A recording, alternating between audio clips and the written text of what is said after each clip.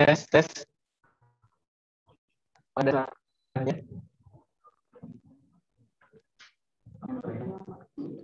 Baik, kita mulai saja. Assalamualaikum warahmatullahi wabarakatuh.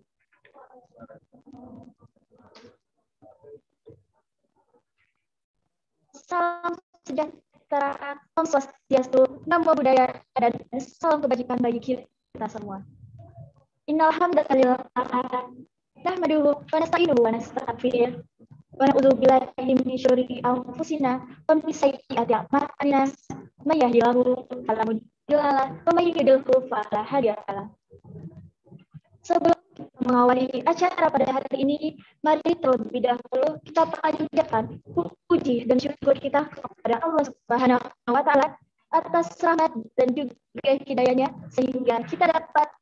berkumpul dalam acara Welcome Day 2021. The tema Create Curation for Innovation. Salawat serta salam perlu kita curahkan kepada Nabi besar kita Muhammad Sallallahu Alaihi Wasallam. Semoga kita semua mendapatkan syafaatnya di akhir nanti. Amin, amin, ya robbal alamin yang terhormat kepada Bapak Dr. Supriyadi, SEMSI, selaku Ketua STI Bandung, yang terhormat kepada Bapak Pulungnya, SEMSI, selaku Ketua STI di Bandung, yang terhormat kepada Ibu Siti Eskom M, selaku Direktur Amikas Bandung. Yang kami hormati kepada Bapak Ibu dosen, yang namanya tidak bisa kami sebut satu-satu, namun tidak mengurangi rasa hormat kami. Dan yang kami banggakan kepada seluruh panitia dan juga peserta kegiatan KBDI tahun 2021 Bandung Business School. Izinkan saya mengulang Isra dan saya Rian Ismayadi untuk memandu acara pada hari ini. Nah, dari kelancaran acara pada hari ini, izinkan kami membacakan susunan acara dan juga kata-kata tertib KBDI tahun 2021. Berikut adalah susunan acara pada hari ini. Yang pertama, check-in seluruh peserta dan juga absensi. Yang kedua, ada pembukaan. Yang, ketiga, ada bacaan ayat Al-Quran. Yang keempat, menyanyikan lagu Indonesia Raya. Mas Di dan juga Mas Amikar. Yang kelima ada sambutan. Yang keenam ada sama dari Kaprodi Manajemen. Yang tujuh ada sitting dan juga tanya jawab. Yang ada istirahat, sholat, dan juga makan. Yang sembilan ada setting kembali. Yang ke sepuluh ada kita setiap kaprodi yaitu akuntansi, manajemen informatika, dan juga ekonomi syariah. Yang sebelas ada tanya jawab, dokumentasi, dan juga atensi. Dan yang terakhir adalah penutupan. Dan selanjutnya, kata tertib online melakukan dari 2021 sebagai berikut. Satu, peserta diharuskan hadir 15 menit sebelum acara dimulai. Dua, peserta diharuskan oke dan mematikan kecuali ketika dipersilakan untuk. Tiga, dilarang cara-cara layar. Empat, jika ada pertanyaan, peserta harus menunggu siang jawab yang diberikan media dan peserta harus menggunakan bahasa Indonesia yang baik dan juga benar. Yang kelima, mengikuti kegiatan sesuai tahapan. Enam, peserta dalam merokok atau melakukan kegiatan lain di acara. Dan yang terakhir, peserta terdapat kendala sinyal, maka segera melapor kepada dia. Bagi peserta yang melanggar, akan dengan sanksi yang berlaku. Baik, kita tadi pembacaan susunan acara dan juga tata tertib KMD 2020. Kita melangkah ke sesi selanjutnya. Sebelum memulai acara ini, mari kita dahulu kita dengarkan pembacaan ayat suci Al-Quran oleh saudara Raul Gunawan. Kepada saudara Raul Gunawan kami persilakan.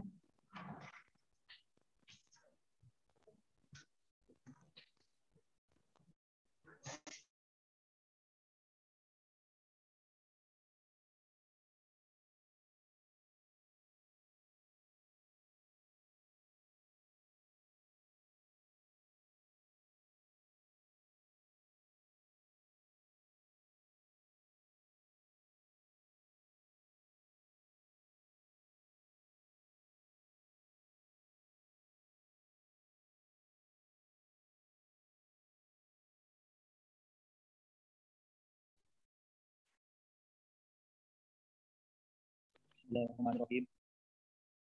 Assalamualaikum warahmatullahi wabarakatuh. A'udzu billahi minasyaitonir rajim. Bismillahirrahmanirrahim. Wailul lil mutaffifin.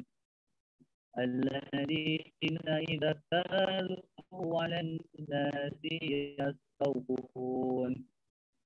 وإذا كالوهم أو وزنوهم يخسرون ألا يظن أولئك أنهم مبعوثون. ليوم عظيم. يوم يقوم الناس لرب العالمين كلا إن كتاب الفجار لفي سجين وما أدراك ما سجين كتاب مرقوم ويل يومئذ للمكذبين الذين يكذبون بيوم الدين وما يكذب به إلا كل معتد أثيم إذا تتلى عليه آياتنا قال أساطير الأولين كلا بل ران على قلوبهم ما كانوا يكسبون كلا إنهم عن ربهم يومئذ لمحجوبون. ثم إنهم قالوا الجحيم. ثم يقال هذا الذي كنتم به تكذبون. كلا إن كتاب الأبرار لفي عليين. وما أدراك ما عليون. كتاب مرقوم يشهده المقربون إن الأبرار لفي نعيم. على الأرائك ينظرون. تعرف في وجوههم نظرة النعيم. يسقون من رحيق مختوم ختامه مسك وفي ذلك فليتنافس المتنافسون. ومزاجه من تسنيم عينا يشرب بها المقربون.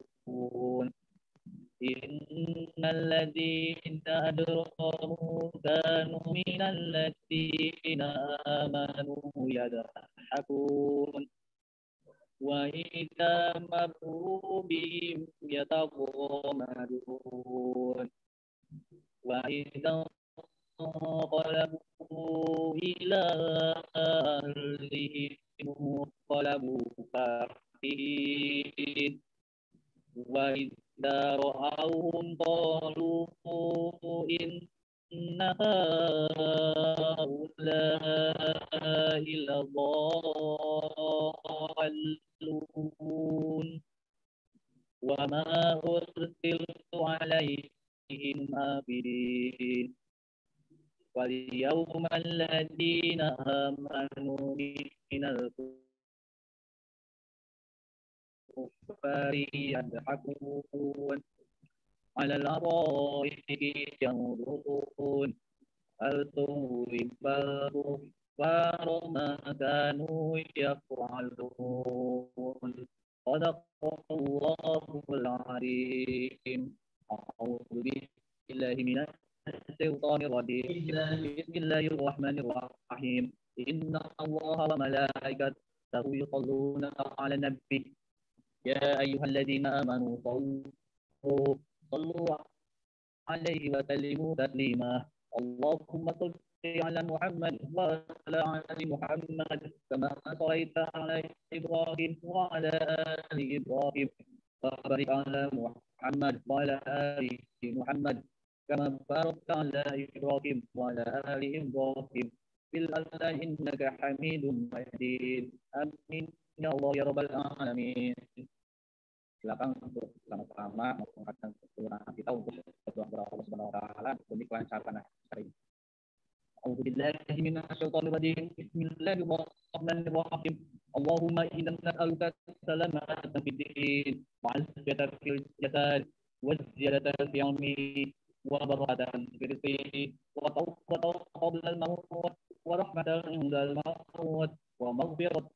بعد الموت. اللهم حول علينا في شقاوة الموت والنجاة من النار. وعفو من الكتاب. ربنا لا تزغ قلوبنا بعد إذ هديتنا وهب لنا من لدنك رحمة إنك أنت الوهاب. ربنا آتنا في الدنيا حسنة وفي الآخرة حسنة وقنا عذاب النار. والحمد لله رب العالمين. Allahumma fi kulli ma'afin wa ta'arik. Wassalamualaikum warahmatullahi wabarakatuh.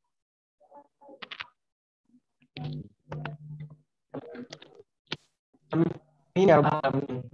Semoga yang membaca dan yang mendengarnya mendapatkan ganjaran di sisi Allah Subhanahu wa taala. Kami mengucapkan terima kasih kepada saudara Robul Gunawan. Jadi kita maka sesi selanjutnya yaitu menyanyikan lagu Indonesia Raya, Mars TMB dan juga uh, Mars Amin. Maka dari itu dengan hormat kami kita serah dipersilakan untuk berdiri.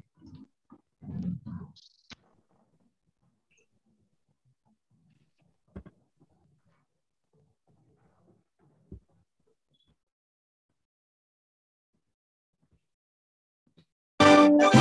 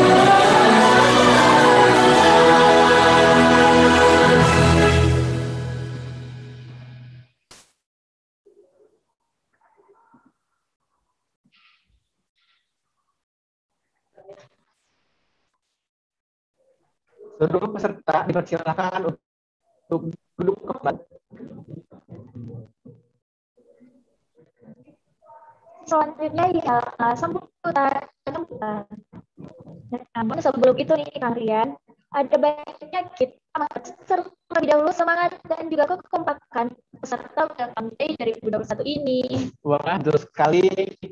Katanya Ya, jadi ketika kita generation for innovation, maka teman semua menjawab dengan menyebutkan slogannya Better Institute for Better Future.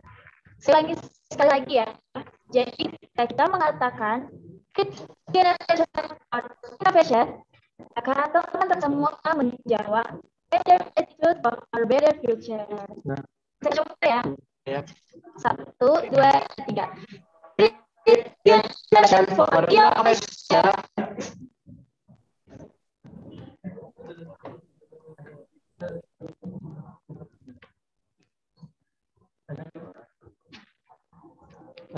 Kita coba sekali lagi ya.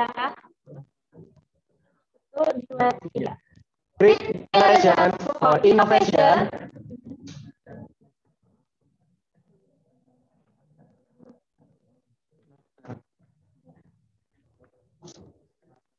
Wah, sepertinya masih kurang semangat nih kalian. Sebarkan ide itu dengan ambisinya apa kalau yang lebih lagi kan sekarang masih pagi-pagi jadi ayo dong coba kalian semangatnya Kita sekali lagi ya Jangan malu-malu, lain aja. satu dua tiga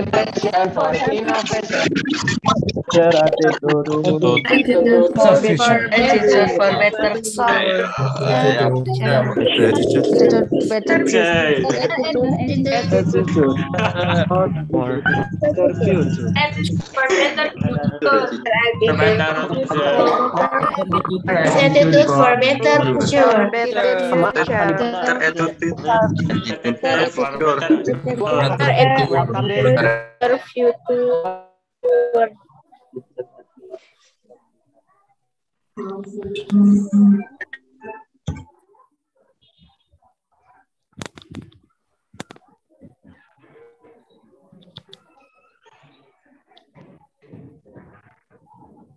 Halo Kak Amanda.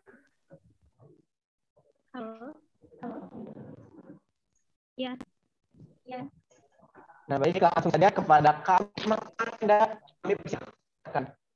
Assalamualaikum warahmatullahi wabarakatuh. Waalaikumsalam warahmatullahi wabarakatuh. Pertama, marilah kita mengucapkan bersyukur kehadirat Allah Subhanahu wa taala yang mana berkat rahmat dan juga nikmatnya kita pada pagi hari ini bisa berkumpul bersama mengikuti acara Welcome Day 2021. Dan tak lupa salawat serta salam Mari saling limpah curahkan kepada junjungan Nabi besar Muhammad SAW. Semoga syafaatnya bisa sampai kepada diri kita sampai yaumil akhir. Yang terhormat kepada Bapak Dr. Supiadi SDMSI selaku Ketua STSMI dan yang terhormat kepada Bapak Jose Priana SEMSI selaku Ketua STIDI STMI dan yang terhormat kepada Ibu Dasiti Eskom Mkom selaku Direktur Amplihat. Yang saya sayangi kepada seluruh rekan rekan panitia dan juga peserta Day 2021. Saya ingin sebelumnya saya berterima kasih kepada seluruh panitia yang telah membantu dari mulai awal sehingga acara hari ini bisa terlaksana dengan baik dan juga khidmat. Dan juga saya ingin berterima kasih kepada lembaga yang mana telah memberikan fasilitas sehingga kita bisa melaksanakan acara Welcome Day 2021. Dan juga saya ingin berterima kasih kepada seluruh peserta Welcome Day 2021 Semoga kalian bisa mengikuti kegiatan ini dari awal hingga akhir dengan baik dan juga hikmah. Sebelumnya, acara Welcome Day itu bertujuan untuk mengenalkan kampus pada seluruh mahasiswa baru tahun 2021. Semoga kalian yang mengikuti acara ini dari awal hingga akhir bisa mengenal lebih dalam mengenai kampus, mengenai jajaran-jajaran Dewan Kampus, dan semoga kalian bisa memetik hikmah dan juga nanti untuk bisa diamalkan di keseharian kalian. Dan untuk serta welcome 2021, saya berharap kalian mengikuti acara ini dari awal hingga akhir, mungkin dari persiapannya sampai hari ini terlaksana hari pertama secara online itu dengan semangat, dengan penuh semangat yang membara. Uh, generasi kita itu generasi di mana harusnya tuh semangat itu sangat diperlukan gitu. Harus membara. Semoga sampai nanti acara outing kalian juga bisa mengikutinya dengan semangat ya. Jangan sampai nanti hari terakhir hidup gitu. Terus tak lupa juga saya ingin mengingatkan kepada seluruh peserta untuk nanti setiap kali pemateri yang menyampaikan materi tolong didengarkan dan juga mungkin bisa dicatat dengan baik dengan smart sehingga acara ini bisa berlangsung dengan baik dan juga smart. Mungkin cukup sekian sambutan dari saya. Terima kasih semoga acara hari ini bisa berjalan dengan lancar. Besok dan juga lusa juga bisa berjalan dengan lancar tanpa ada kendala satupun. Terima kasih. Wassalamualaikum warahmatullahi wabarakatuh. Waalaikumsalam warahmatullahi wabarakatuh. Itulah tadi sambutan dari Kak Amanda Cahya. Banyak terima kasih. Lalu selanjutnya sambutan yang akan dibawakan oleh Kak Denny Wintara, Ketua Badan Eksekutif Mahasiswa TMI Bandung. Pada Kak Denny, apakah sudah bergabung?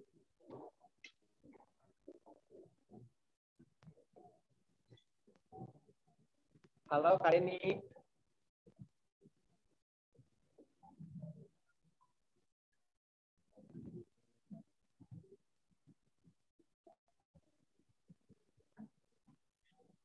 Baik, kepada yang minta, kami persilahkan. Halo. Suara saya jelas tidak?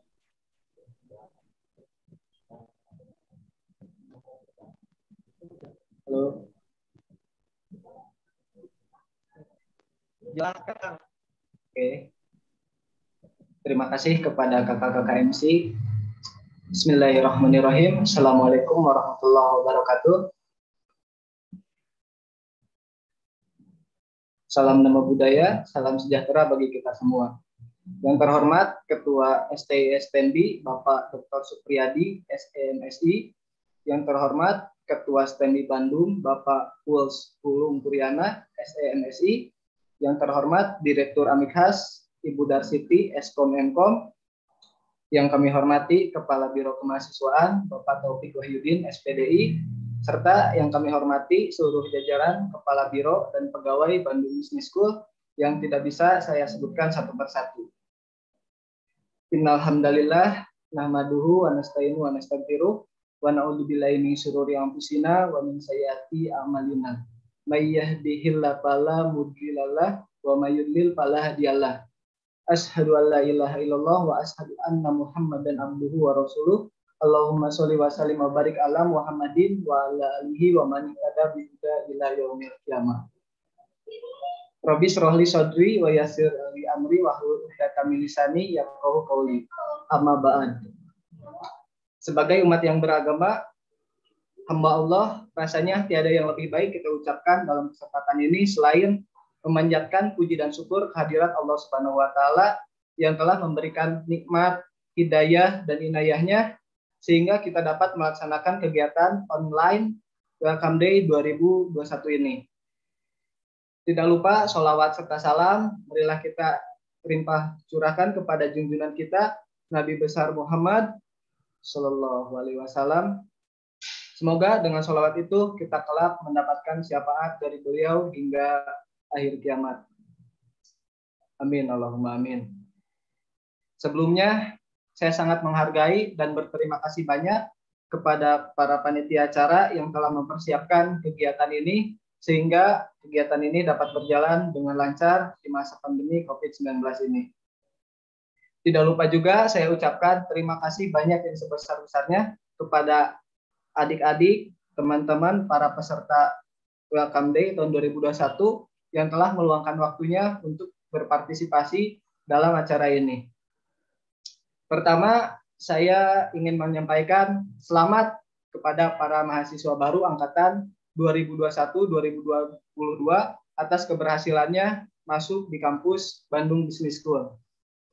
Kami percaya bahwa tentunya teman-teman mahasiswa-mahasiswi baru ini akan menggunakan kesempatan yang berharga ini untuk berkarya secara maksimal, baik dalam meningkatkan kemampuan akademik maupun non-akademik, dan baik itu soft skill maupun hard skill. Semoga adik-adik semua ini, teman-teman, peserta mengikuti kegiatan Welcome Day ini sampai dengan selesai dan lancar. Amin Allahumma amin. Selanjutnya, eh, Welcome Day mahasiswa baru 2021 ini merupakan wahana perkenalan antar mahasiswa dengan mahasiswa ataupun antar mahasiswa dengan lingkungan kampus yang ada. Telah disebutkan tadi oleh Ketua Pelaksana, Teteh Amanda, bahwa Welcome Day ini merupakan salah satu wadah untuk perkenalan antara teman-teman dengan sivitas akademik atau lingkungan kampus. Sehingga dapat lebih bertanggung jawab eh, dalam kepemimpinan terhadap peserta Kang Teteh juga mempererat tali persaudaraan juga dan juga sebagai orientasi penyadaran Akang Teteh sebagai insan akademik yang memiliki tanggung jawab sosial yang tertuang dalam Tridharma Perguruan Tinggi. Ada tiga Tridharma Perguruan Tinggi. Yang pertama, pendidikan dan pengajaran, selanjutnya penelitian dan pengembangan, serta pengabdian kepada masyarakat. Kegiatan ini, Welcome Day, bertujuan agar nantinya ketika adik-adik mahasiswa baru, akan teteh juga eh, sudah mengenal lingkungan kampus, sivitas akademik, organisasi-organisasi kemahasiswaan di Bandung Business School seperti unit kegiatan mahasiswa yang mungkin nanti akan dijelaskan oleh eh, teman-teman uh, yang lainnya. Uh, maka dari itu alasan inilah kegiatan Welcome Day dilaksanakan sesuai dengan tema yang telah panitia tentukan yakni Create Generation for Innovation agar mahasiswa menjadi insan yang bisa melakukan aktivitas-aktivitas yang produktif dan inovatif, memiliki jiwa kepemimpinan, kepedulian terhadap orang lain, dan rahlakul karimah sebagai seorang mahasiswa. Ubah paradigma belajar di perguruan tinggi menjadi kuliah untuk belajar. Belajar bagaimana bisa berkarya dan bekerja di berbagai bidang, bukan hanya sekedar kuliah untuk bekerja saja. Mari kita sama-sama belajar dan terus haus belajar untuk menjadi manusia yang bermanfaat. Terakhir, saya sampaikan kepada mahasiswa-mahasiswi baru, selamat berkarya, berinovasi, dan berkontribusi nyata mengikuti kegiatan Welcome Day ini. Salam mahasiswa, terima kasih. Akhirul kalam, pastabikul khairat. Wassalamualaikum warahmatullahi wabarakatuh.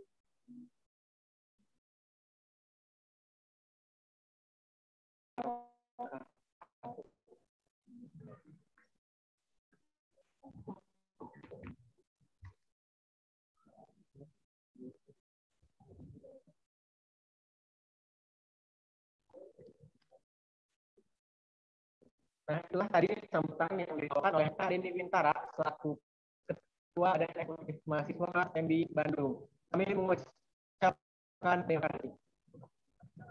Saya menginformasikan untuk mengisi absensi yang pertama.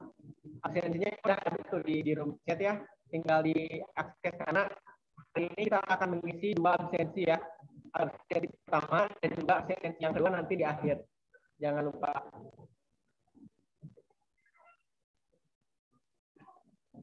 Baik, kita langkah ke sambutan selanjutnya.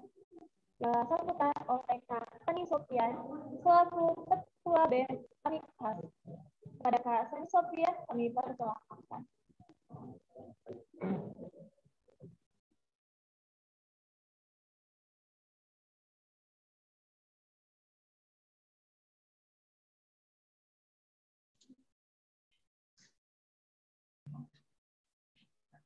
Ya,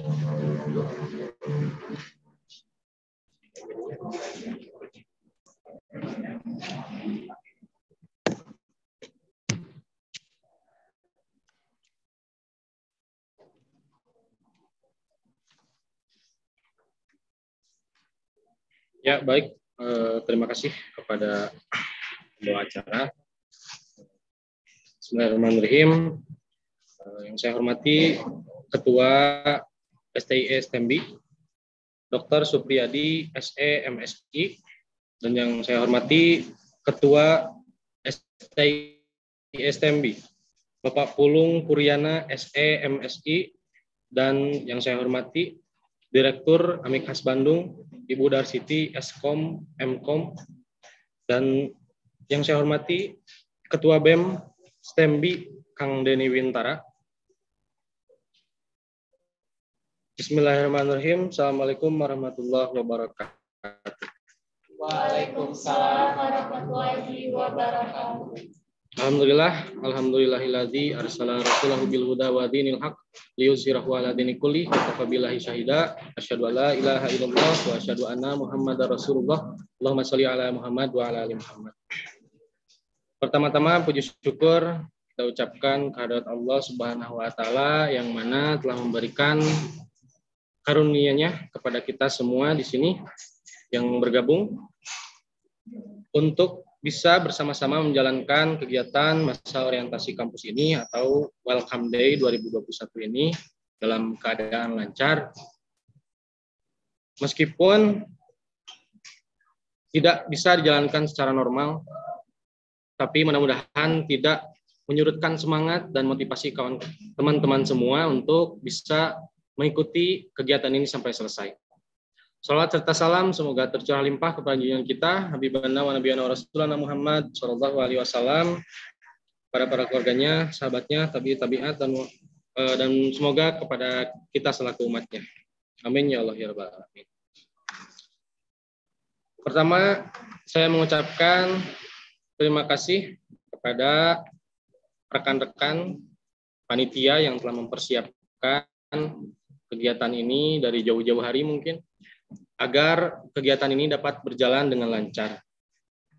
Dan kemudian saya ucapkan terima kasih juga kepada para peserta Welcome Day 2021 ini yang sangat antusias sekali dalam mengikuti kegiatan ini. Uh, dan saya ucapkan selamat bergabung di Bandung Business School ini. Uh, sebagai mahasiswa baru untuk tahun ajaran 2021. Semoga kesempatan yang kita terima, yang kalian terima, kesempatan ini bisa dimaksimalkan dengan sebaik-baiknya untuk meningkatkan kualitas dan kapasitas diri Anda semua, agar cita-cita dan tujuan yang Anda inginkan itu bisa tercapai di kemudian hari. Ke depannya, masa studi di kampus ini membagi waktu menjadi faktor penting bagi kalian semua supaya dapat melakukan proses belajar secara utuh dan menyeluruh dengan kegiatan-kegiatan yang ada di kampus ini, baik kegiatan akademik maupun kegiatan non-akademik seperti UKM-UKM atau organisasi-organisasi mahasiswa yang terencana tentunya dan juga tersusun rapi. Kami percaya bahwa mahasiswa, mahasiswi baru untuk angkatan 2021 ini masuk perguruan tinggi ini dengan berbagai latar belakang dan tujuan yang berbeda-beda tentunya. Dan mungkin mungkin saja tujuan mahasiswa mahasiswi baru ini salah satunya adalah ingin mendapatkan keberhasilan dan kesejahteraan di masa yang akan datang.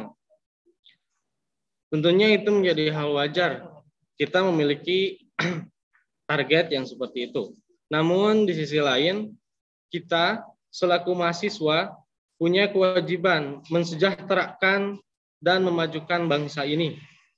Tentunya sebagai mahasiswa kita dituntut untuk bekerja secara kreatif, inovatif, dan senantiasa menjunjung tinggi nilai-nilai bangsa ini, nilai-nilai luhur bangsa ini. Karena negara kita membutuhkan para pembuat karya yang bisa berguna bagi bangsa ini.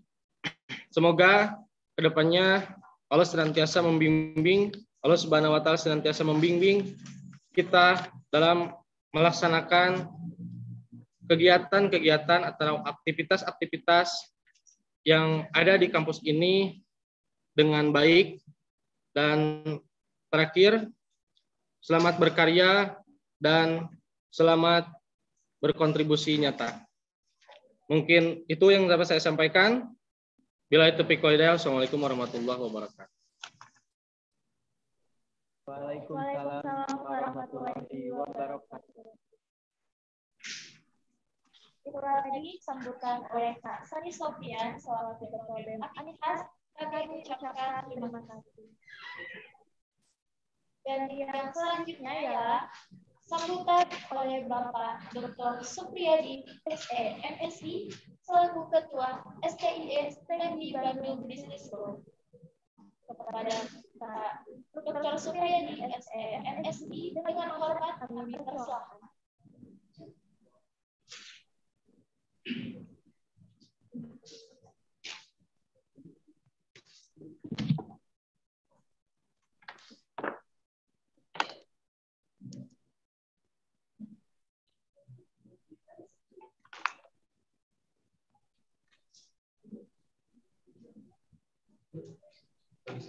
Hmm? Nggak bisa, Pak? Nggak usah pakai ini? Oh gitu. Suaranya nggak pecah?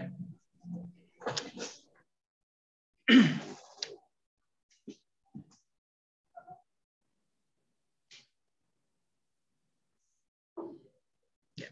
Sudah? Selamat pagi, Pak. Ya, selamat pagi. ya.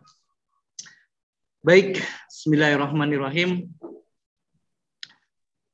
Assalamualaikum warahmatullahi wabarakatuh.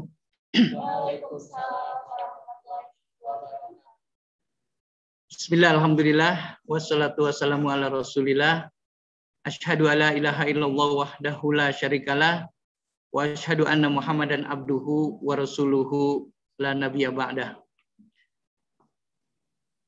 Puji dan syukur senantiasa marilah kita panjatkan kehadirat Allah Subhanahu wa taala atas segala limpahan, curahan, rahmat, nikmat, dan karunia-Nya yang tak terhingga. Sehingga pada hari ini alhamdulillah atas izin Allah Subhanahu wa taala kita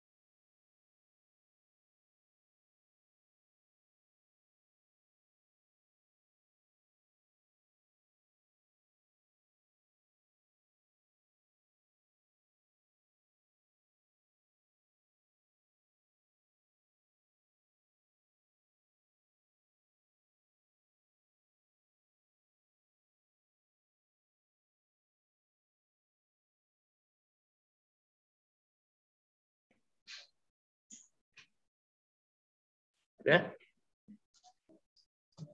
Ya. ya. Baik, eh, dilanjutkan kembali. Mohon maaf ada sedikit gangguan teknis. Saya ulangi, senantiasa kita panjatkan puja, puji, dan rasa syukur kehadirat Allah Subhanahu wa Ta'ala atas segala limpahan, curahan, nikmat, rahmat, dan karunia-Nya kepada kita. Atas izin Allah Subhanahu wa Ta'ala, hari ini kita diberikan kesempatan untuk mengikuti acara Welcome Day bagi mahasiswa baru Bandung Business School angkatan tahun akademik 2001 2021 2022. Alhamdulillah atas kepercayaan semua pihak tahun ini mahasiswa baru kita yang telah bergabung mencapai sejumlah 1.547 mahasiswa baru. Ya, kita berikan tepuk tangan untuk semuanya. Salawat dan salam tak lupa juga kita limpah curahkan keharibaan junjungan Nabi besar Muhammad Shallallahu Alaihi Wasallam kepada keluarganya, kepada para sahabatnya, dan juga kepada seluruh umatnya sampai akhir zaman. Mudah-mudahan kelak kita termasuk orang-orang yang mendapat syafaat di yaumil akhir nanti bersama-sama dengan beliau. Amin ya rabbal alamin. Hadirin yang saya banggakan, pertama-tama saya ucapkan terima kasih yang tak terhingga kepada segenap jajaran panitia kepada jajaran pengurus BEM, STI STMB, BEM, Amikhas, BEM, Sekolah Tinggi Ekonomi Islam, ya, dan semua pihak yang telah membantu terselenggaranya acara Welcome Day ini. Mudah-mudahan acara ini berjalan dengan lancar, sukses sebagaimana yang diharapkan, dan memberikan kesan bagi semua pihak kesan yang menyenangkan tentunya ya. Dan kami berharap acara ini juga bermanfaat ya untuk segenap mahasiswa baru angkatan 2021 terutama yang terkait dengan berbagai proses-proses di perguruan tinggi yang mana nanti saudara-saudara akan diberikan orientasi, akan diberikan pengarahan, akan diberikan pengenalan ya. Mudah-mudahan momen ini dijadikan kesempatan berharga untuk semuanya untuk mengenal lebih banyak apa bagaimana proses-proses yang harus saudara-saudara jalani selama menjadi mahasiswa ya dari mulai saudara-saudara masuk masuk ke semester 2 masuk ke semester berikutnya hingga saudara-saudara lulus kelak nanti. Ya mudah-mudahan acara ini bisa memberikan eh, apa pengalaman sekaligus juga wawasan ya.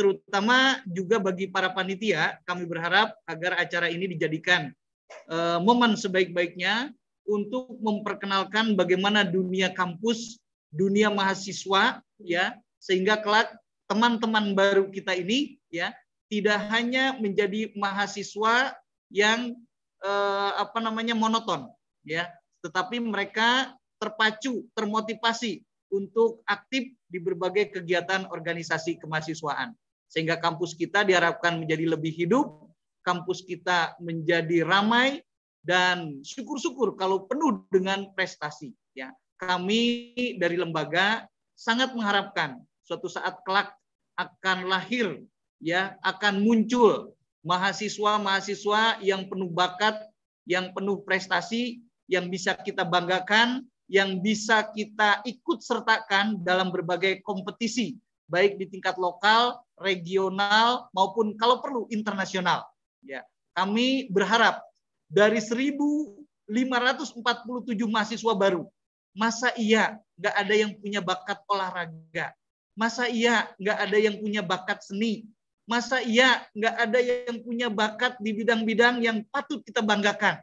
Ya, nah oleh karena itu saudara-saudara sekalian, kami berharap ya ajang ini, welcome day ini sekaligus juga dijadikan sebagai ajang untuk memotivasi teman-teman mahasiswa baru untuk menjadi mahasiswa yang berprestasi. Ya, kenalkan eh, dunia akademis, kenalkan juga dengan dunia organisasi kampus sehingga mereka kelak punya bekal, punya pengetahuan juga bagaimana seharusnya menjadi mahasiswa yang baik. Ya.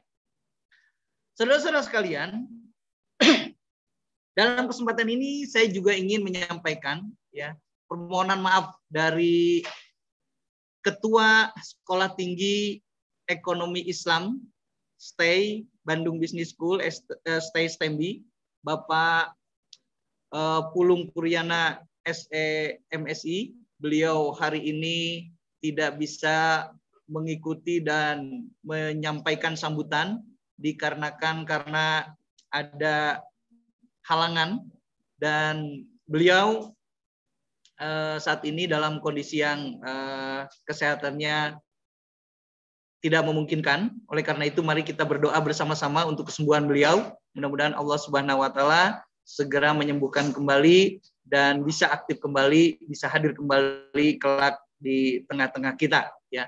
Oleh karena itu beliau menitip pesan juga kepada kami untuk juga memberikan uh, sambutan sekaligus ya mewakili beliau. Hadirin dan saudara-saudara yang kami banggakan, saya juga ingin menyampaikan sedikit sekilas tentang apa yang menjadi visi misi lembaga kita. Apa yang menjadi visi misi Bandung Business School ya. Visi Bandung Business School adalah menjadi entrepreneur university yang melahirkan insan-insan yang berintelektual dan beralhaqul karimah. Saudara-saudara, visi ini adalah visi yang harus mampu kita terjemahkan ke dalam kehidupan kita sehari-hari, ke dalam hasil pembelajaran kita kelak. Ya. Kami berharap ya, di kampus ini saudara-saudara tidak hanya pandai berteori. Saudara-saudara kelak tidak hanya tahu ilmunya saja. Tetapi lebih dari itu, saudara-saudara diharapkan mampu mempraktekkan ilmu, mampu mempraktekkan pengetahuan, mampu mewujudkannya dalam kehidupan sehari-hari menjadi sesuatu yang berharga, sesuatu yang bermanfaat bagi masyarakat banyak. Itulah sebabnya kenapa kita memilih entrepreneurship sebagai jargon utama perguruan tinggi. Kita ingin kampus kita kelak tidak hanya mencetak sarjana-sarjana yang bergelar saja, namun lebih dari itu, kita ingin mencetak sarjana-sarjana yang siap menjadi solusi bagi permasalahan bangsa ini. Kita ingin mencetak sarjana-sarjana yang tidak hanya menjadi pencari kerja, tetapi kita ingin mencetak sarjana-sarjana yang siap menciptakan lapangan pekerjaan bagi orang lain. Itulah esensi dari Entrepreneur University yang kita maksudkan dalam visi misi kita. Nah, saudara-saudara sekalian, kelak saudara-saudara lulus kuliah akan terjun di masyarakat. Di sana kami berharap sebagai lulusan kampus ini, saudara-saudara aktif menjadi bagian yang bisa menjawab permasalahan-permasalahan di masyarakat. Permasalahan apa yang kita maksudkan? salah satu persoalan yang sampai saat ini belum tercepat terpecahkan adalah masalah pengangguran. Ribuan sarjana baru setiap tahun lahir dan ribuan sarjana baru juga berubah menjadi pengangguran setiap tahun. Saudara-saudara sekalian, ya, kami ingin merubah paradigma itu. Ya, kalau selama ini ribuan sarjana baru setiap tahun lahir, lalu mereka menjadi pencari kerja, menjadi pengangguran, kelak dari kampus kita akan sebaliknya. Kelak ribuan sarjana baru lahir dari kampus ini dan mereka siap menciptakan lapangan pekerjaan bagi orang lain. Itulah cita-cita kami. Mudah-mudahan saudara-saudara semua bisa merealisasikannya, bisa mewujudkannya sehingga saudara-saudara kelak dapat menjadi lulusan-lulusan yang patut kami banggakan. Selanjutnya saudara-saudara sekalian, kami juga ingin menitipkan pesan ya. sebagai mahasiswa, tentunya saudara-saudara adalah menjadi bagian dari masyarakat akademis. Apa ciri utama dari masyarakat akademis? Tentunya selain intelektualnya, masyarakat akademis juga dicirikan dengan akhlakul karimahnya. Saudara-saudara, miris sekali rasanya kami sebagai akademisi ketika membaca berita ada mahasiswa tawuran. Ketika membaca berita ada mahasiswa yang terlibat narkoba. Ketika membaca berita ada mahasiswa yang terlibat tindakan kriminal. Miris sekali rasanya. Kami sangat tidak menginginkan mahasiswa kita seperti itu. Oleh karena itulah di dalam visi misi kita kita cantumkan secara eksplisit menciptakan lulusan yang berakhlakul karimah. Akhlak karimah adalah akhlak yang baik, akhlak yang mencirikan seseorang yang berilmu. Saudara-saudara, kami berharap lulusan kita kelak tidak hanya mampu secara akademis, tapi juga mampu mengelola akhlak. Apalah jadinya seorang yang pintar, seorang yang cerdas kalau tidak berakhlak. Kita sering mendengar banyak orang-orang pintar yang terlibat korupsi. Banyak orang-orang pintar yang terlibat tindakan-tindakan tidak etis. Naujubillah min. Kita ingin menciptakan lulusan kita sebagai orang-orang pintar, orang-orang cerdas yang beretika dan berakhlakul karimah. Alangkah indahnya negeri ini kalau semuanya dipenuhi dengan orang-orang pintar dan orang-orang berakhlakul karimah. Mudah-mudahan Allah Subhanahu wa taala mengabulkan visi misi kita, mengabulkan cita-cita kita dan menjadikan negeri ini negeri yang baldatun thayyibatun warabun gopur. Melalui aksi, melalui uh, kreasi saudara-saudara semua sebagai lulusan kita. Terakhir saudara-saudara sekalian, dalam kesempatan ini saya secara spesifik ingin mengucapkan selamat datang kepada semua mahasiswa baru Bandung Business School angkatan tahun 2001, 2021, 2022. Saudara-saudara, mulai hari ini ya sampai tiga hari ke depan nanti puncaknya akan kita lakukan acara outing di daerah Lembang ya. Mulai hari ini sampai tiga hari ke depan, saudara-saudara akan diperkenalkan dengan banyak hal yang terkait dengan kegiatan-kegiatan, aktivitas-aktivitas, dan proses-proses yang akan saudara tempuh selama menjadi mahasiswa selama tiga tahun setengah ke depan. Ya, kami berharap ya acara Welcome Day ini menjadi acara yang menyenangkan bagi semua pihak bagi panitia, bagi saudara-saudara mahasiswa baru, dan bisa menjadi ajang untuk menjalin silaturahim. Ya, mudah-mudahan melalui kegiatan ini rasa bangga kita sebagai bagian dari Sivitas Akademika STI STMB Bandung, Amik Khas dan uh, Stay STMB Bandung terus meningkat. Mudah-mudahan Allah Subhanahu wa taala memberikan kelancaran dan kemudahan dalam acara kita ini. Itu saja yang bisa saya sampaikan. Sekali lagi, selamat datang kepada mahasiswa baru. Mudah-mudahan saudara-saudara kelak menjadi sarjana-sarjana yang bermanfaat bagi bangsa, negara, dan agama. Mudah-mudahan saudara-saudara bisa mewujudkan dan merealisasikan apa yang sudah kami nyatakan dalam visi misi kami. Demikian yang bisa saya sampaikan. Selamat bergabung, selamat menjadi mahasiswa baru Bandung Business School. Enjoy dan selamat kuliah selama tiga tahun setengah ke depan. Saudara-saudara, itulah yang bisa saya sampaikan. Kurang lebihnya saya ucapkan permohonan maaf yang sebesar-besarnya. Satu lagi titip saya, nanti di acara hari terakhir tanggal 29 ya bagi yang sudah eh, terregistrasi mendaftar ke sana ya Pertama, kami ingin sampaikan bahwa acara di sana itu lebih kepada acara silaturahim, ya. Jadi jangan pernah punya kesan, jangan pernah punya asumsi di sana itu adalah acara yang sifatnya eh, apa namanya penggojlogan, bukan. Ya. Justru di sana kita ingin bersenang-senang, di sana kita ingin bersilaturahim, tatap muka secara langsung, bisa saling mengenal, bisa saling bertukar dan bisa saling menyemangati. Ya. Oleh karena itu saudara-saudara sekalian, ya, kami berharap ya acara tanggal 29 nanti betul-betul bisa dimanfaatkan untuk menjalin keakraban, menjalin persaudaraan sesama kita, ya. Jaga kesehatan ya agar acara di sana nanti bisa kita laksanakan dengan sebaik-baiknya ya dan kepada Akang dan Teteh panitia ya kami titip ya mudah-mudahan teman-teman di sana bisa mengikuti dengan enjoy, bisa mengikuti dengan rasa senang dan menimbulkan kesan yang mendalam buat semuanya. Itu saja yang bisa saya sampaikan. Terima kasih. Bilahi taufik wal hidayah. Wassalamualaikum warahmatullahi wabarakatuh. Terima kasih.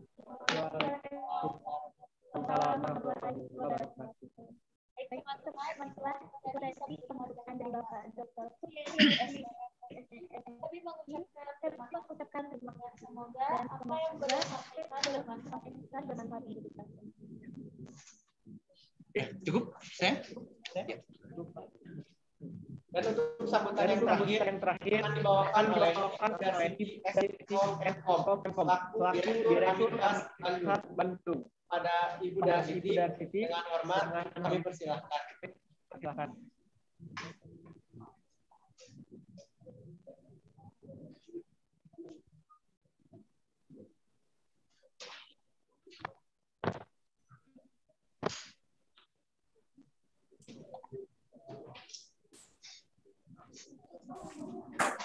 Ada dibuka. Ada suaranya? Tes, tes, tes. Halo, ada suaranya? Ada? Pak Taufik ada nggak? Ada. Ada. Baik. Bismillahirrahmanirrahim. Assalamualaikum warahmatullahi wabarakatuh. Yang terhormat Ketua STIS TMB Bandung, Bapak Dr. Supriyadi, Sarjana Ekonomi MSI. Yang terhormat Ketua STIS TMB, Bapak Pulung Puriana, Sarjana Ekonomi MSI. Yang saya banggakan Ketua BEM STEMBI, Ketua BEM Amikas, Ketua Panitia Welcome Day 2021 beserta seluruh jajaran kepengurusannya. Ya. Selamat pagi dan salam sejahtera untuk kita semua. Pertama-tama kami mengucapkan puji dan syukur kehadirat Allah Subhanahu wa taala karena atas limpahan rahmat dan karunia-Nya alhamdulillah pada pagi ini tanggal 27 September 2021 kita bisa bersama-sama mengikuti acara orientasi mahasiswa baru atau Welcome Day ya, yang diberi tema Create Generation for Innovation ya, di mana acara ini e, diikuti secara online selama dua hari dan nanti di hari terakhir ya hari Rabu itu dilakukan secara offline ya. Perlu e, saya sampaikan e, bahwa Bandung Business School ini terdiri dari tiga perguruan tinggi, di mana yang insya Allah ya sedang menuju ke penggabungan menjadi sebuah universitas ya. Jadi nanti e, bingung kok ini ada STSTMB, ada Amikas ya, ada STAY ya, ada STAY STMB. Sebetulnya kami di bawah satu yayasan yang sama ya. Nah, pada kesempatan ini eh, saya beserta seluruh eh, apa namanya seluruh sivitas akademika Bandung Business School mengucapkan selamat kepada para mahasiswa baru dan selamat bergabung menjadi bagian dari eh, sivitas akademika Bandung Business School ya. Dengan penuh rasa syukur dan bangga ya. Alhamdulillah pada tahun ini seperti yang disampaikan oleh Bapak Ketua STSTMB ya, pada tahun ini kami bisa mencapai meraih ya mahasiswa kurang lebih 1.500-an ya mahasiswa baru ya. Kami yakin bahwa kehadiran kalian semua adalah pilihan yang terbaik ya dan berkat kesungguhan dan ketetapan hati dalam menentukan pilihan. Insya Allah Bandung Business School adalah pilihan yang terbaik untuk kalian semua ya. Nah tentunya ini dengan jumlah mahasiswa yang alhamdulillah ya eh, luar biasa banyak ya. Ini akan menjadi eh, penyemangat ya, menambah energi kami nih selaku eh, apa namanya eh, sivitas akademika untuk terus berupaya agar menjadi lebih baik lagi baik dalam hal layanan maupun hal-hal lainnya ya.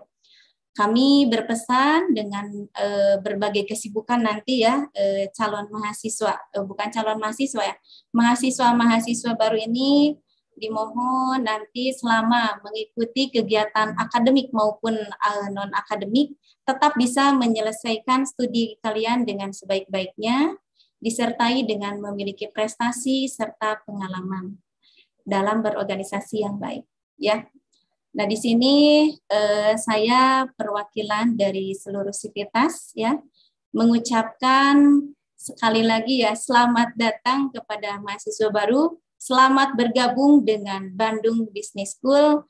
Mari bersama-sama kita satukan tekad untuk memajukan Bandung Business School untuk meraih masa depan yang gemilang. Ya, eh, sambutan dari saya tidak panjang-panjang. Alhamdulillah sudah tadi ya cukup jelas disampaikan oleh Bapak Ketua STSTMD. Eh, sekali lagi kami ucapkan selamat bergabung ya untuk seluruh peserta Welcome Day 2021. Eh, sekian yang saya sampaikan. Kurang lebihnya mohon maaf. Wabillahi taufik wal hidayah. Wassalamualaikum warahmatullahi wabarakatuh. Waalaikumsalam warahmatullahi Itulah tadi sambutan oleh Ibu Siti Kemko. Kami mengucapkan terima kasih. Dan kita telah menyelesaikan sesi sambutan-sambutan. Dengan demikian, mari kita memasuki acara yang inti, yaitu pemaparan materi. Nah, untuk pemaparan materi yang pertama, akan dibawakan oleh Bapak Aceh Kurniawan EM, Ketua Program Studi Manajemen.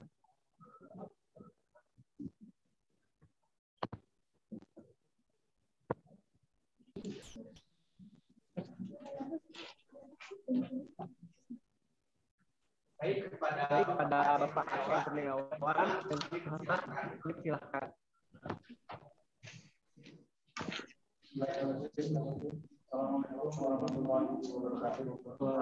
Waalaikumsalam warahmatullahi wabarakatuh.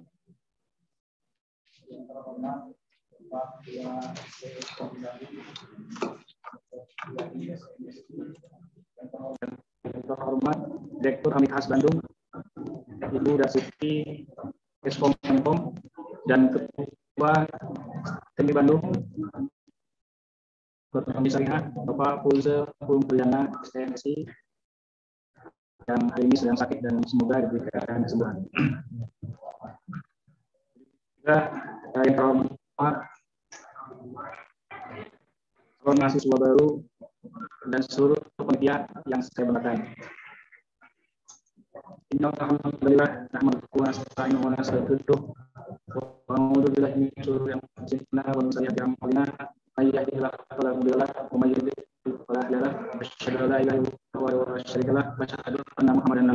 Rasuluhu. Puji syukur kita panjatkan kehadiran Allah Subhanahu wa taala. Pada hari ini kita bisa berkumpul walaupun dengan tatap maya mudah-mudahan uh, tidak silaturahmi kita. Salam serta salam adalah kita lipat silakan kepada kita Nabi bisa Muhammad Sallallahu. Nah, pada kesempatan ini uh, saya ingin memaparkan mengenai jurusan manajemen di STIS di Bandung.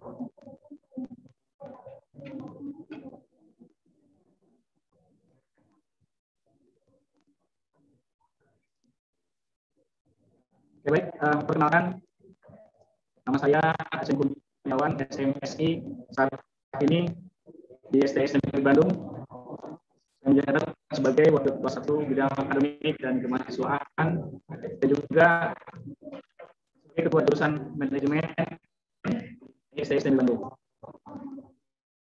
Itu ada kontaknya 0878 tiga lima lima sembilan kosong berarti ada yang memerlukan saya persilakan baik, uh, di bawah jurusan manajemen itu ada sekretaris jurusan manajemen Ibu Trisnawati SEE sering dipanggil Bu Trisna.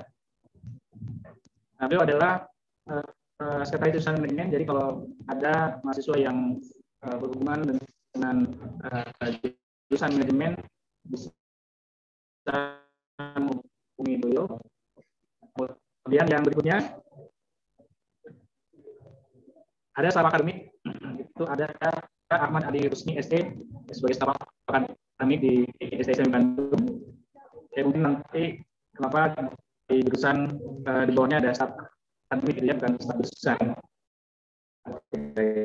Uh,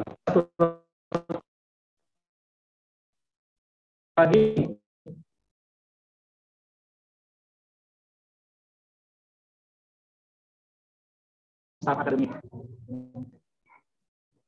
Nah, di uh, pengaturan struktur akademik di SSM Bandung, next. ada di bawah saya itu di setelah ketua SSM Bandung, di bawah itu ada wakil ketua satu bidang akademik dan kemahasiswaan, kemudian ada wakil ketua dua dan SDM dan keuangan. Nah, khusus di, di uh, bawah wakil ketua akademik itu ada jurusan ya, jurusan akuntansi dan juga ada jurusan manajemen. Nah, kalau kita runtut di bawah jurusan akuntansi itu ada yang namanya program studi. Ya, ada program studi akuntansi S1 dan program studi akuntansi D. Ya, jadi program kalau misalnya sedikit dengar bahasa program studi itu adalah bagian dari jurusan. Ya. Kalau kita tahu formasi misalnya di sepak bola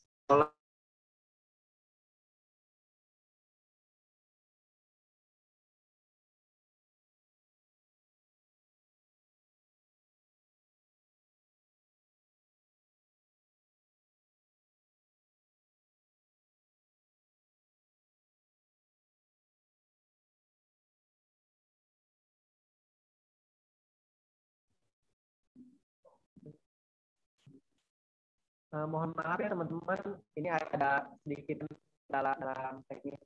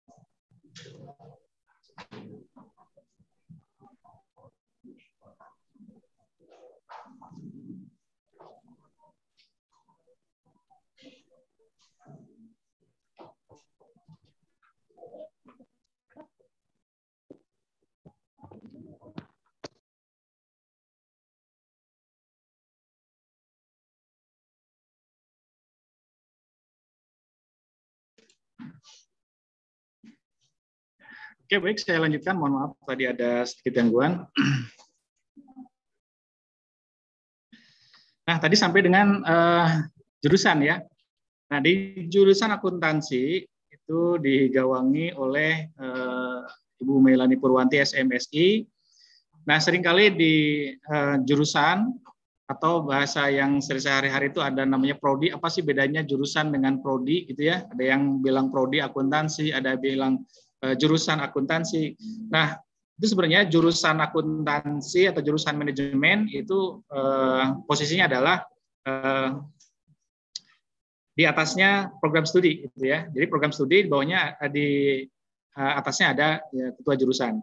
Nah, kebetulan karena kita tadi formasinya ramping sehingga eh, ketua jurusan juga merangkap sebagai eh, ketua program studi ya. Jadi di jurusan manajemen ada program studi manajemen S1, kemudian ada program studi manajemen perusahaan diploma 3 ya. Nah, kemudian di bawah ketua jurusan itu ada sekretaris jurusan ya, yang tadi setelah disampaikan sebelumnya ada Ibu Trisnawati di jurusan manajemen. Nah, kemudian di bawah jurusan itu ada uh, staf jurusan atau staf staf akademik ada staf uh, akademik ya. Nah, akademik itu adalah sebagai pengelola data ya sebagai pengelola uh, apa namanya lalu lintas data di uh, perguruan tinggi. Jadi tugas dari program studi adalah bagaimana memastikan bahwa mahasiswa yang masuk setelah dari PMB ya nanti dari penerimaan mahasiswa baru itu diserahkan ke program studi kemudian dari program studi mulai dari KRS ya mahasiswa dinyatakan menjadi mahasiswa STSTMI Bandung, uh, Amikhas dan STI. Nah, kemudian sampai dengan dinyatakan uh, lulus ya. Sampai dinyatakan lulus sampai dengan yudisium. Nah, itu adalah tugas dari program studi. Ya, dari dinyatakan masuk ya, memiliki NPM dan juga sampai dengan dinyatakan lulus. Nah, dari segi uh, pengelolaan akademis ya, itu di dikelola oleh Eh, program studi ada dikelola oleh jurusan. Nah, yang berkaitan dengan non akademis, misalnya kegiatan mahasiswa, gitu ya, BM, nah itu eh, tersendiri itu di luar dari eh, kewenangan jurusan, ya. Oke. Nah, berikutnya visi misi program studi manajemen. Nah, visi program studi manajemen tentunya harus selaras dengan visi dari Sekolah Tinggi Ilmu Ekonomi STEMI Bandung. Ya, harus selaras ya, sehingga visi dari program studi manajemen menjadi program studi yang unggul pada bidang manajemen dan fokus pada penciptaan wirausahawan baru yang berintelektual dan berakhlakul karimah. Ya, tidak hanya pintar tapi juga punya akhlak yang baik. Nah, eh, fokus pada penciptaan berusahawan itu eh, kita sama dengan yang tadi telah disampaikan oleh Pak eh, Ketua bahwa tidak hanya mahasiswa yang kita didik itu tidak hanya siap untuk bekerja tapi juga menyiapkan para wirausahawan wirausahawan baru. Ya. Nah, kemudian Misinya adalah mengembangkan sumber daya manusia yang kompeten pada bidang manajemen dan bisnis melalui pengajaran, penelitian, dan pengabdian masyarakat. Nah, itu merupakan tanggung jawab kita eh, sebagai Tridharma perguruan tinggi, itu dalam pengajaran, penelitian, dan juga pengabdian masyarakat. Oke, baik berikutnya. Jurusan manajemen di STEMBI Bandung School atau di STS STEMBI Bandung itu terdiri dari dua program studi ya. Yang pertama program studi manajemen S1, yang kedua adalah program studi manajemen perusahaan diploma 3. Nah, untuk yang manajemen S1 itu akreditasinya sudah mendapatkan nilai B.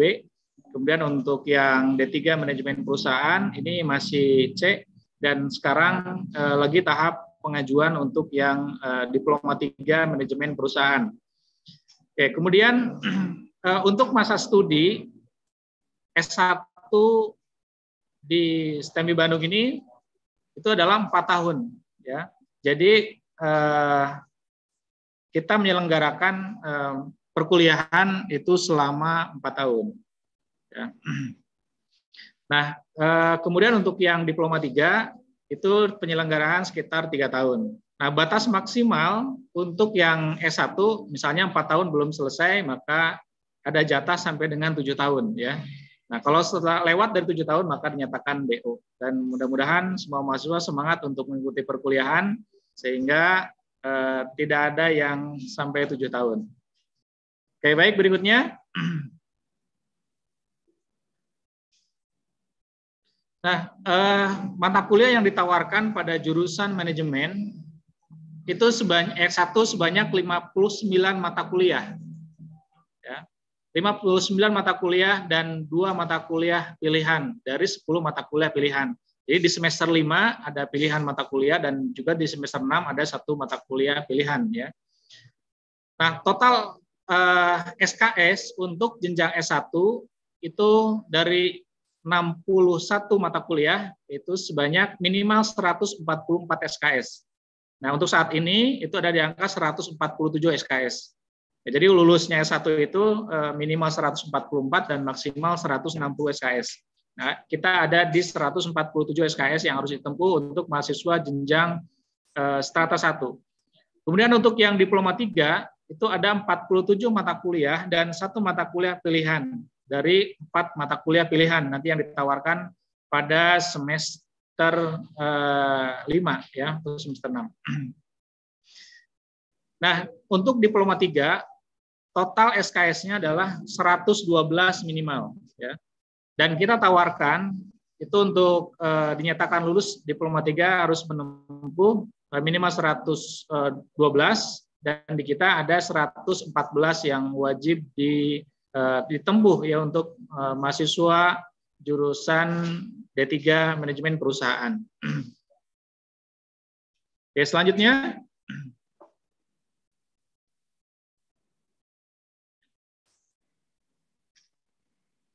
Mohon maaf itu apa tulisannya ngacak mungkin beda format. Uh, ini perkembangan mahasiswa manajemen ya dari tahun 2018 sampai dengan tahun 2021 ya.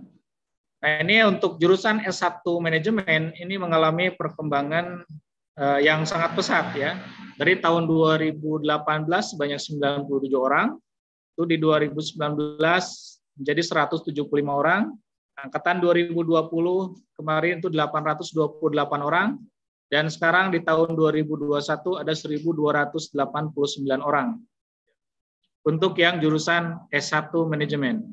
Untuk yang manajemen perusahaan diploma 3 itu dari tahun 2018 sampai 2021 itu kenaikannya tidak signifikan ya. D3 eh, di tahun 2018 itu 14 orang, kemudian di tahun 2019 ada 15 orang, di tahun 2000 20 27 orang dan juga di tahun 2021 ada 21 orang. Baik, berikutnya Nah, di dalam kegiatan mahasiswa itu tidak hanya eh, kegiatan-kegiatan yang sifatnya eh, kemampuan-kemampuan hobi gitu ya. Nah, tapi juga ada namanya himpunan mahasiswa, terutama di jurusan manajemen itu adalah namanya himpunan mahasiswa manajemen.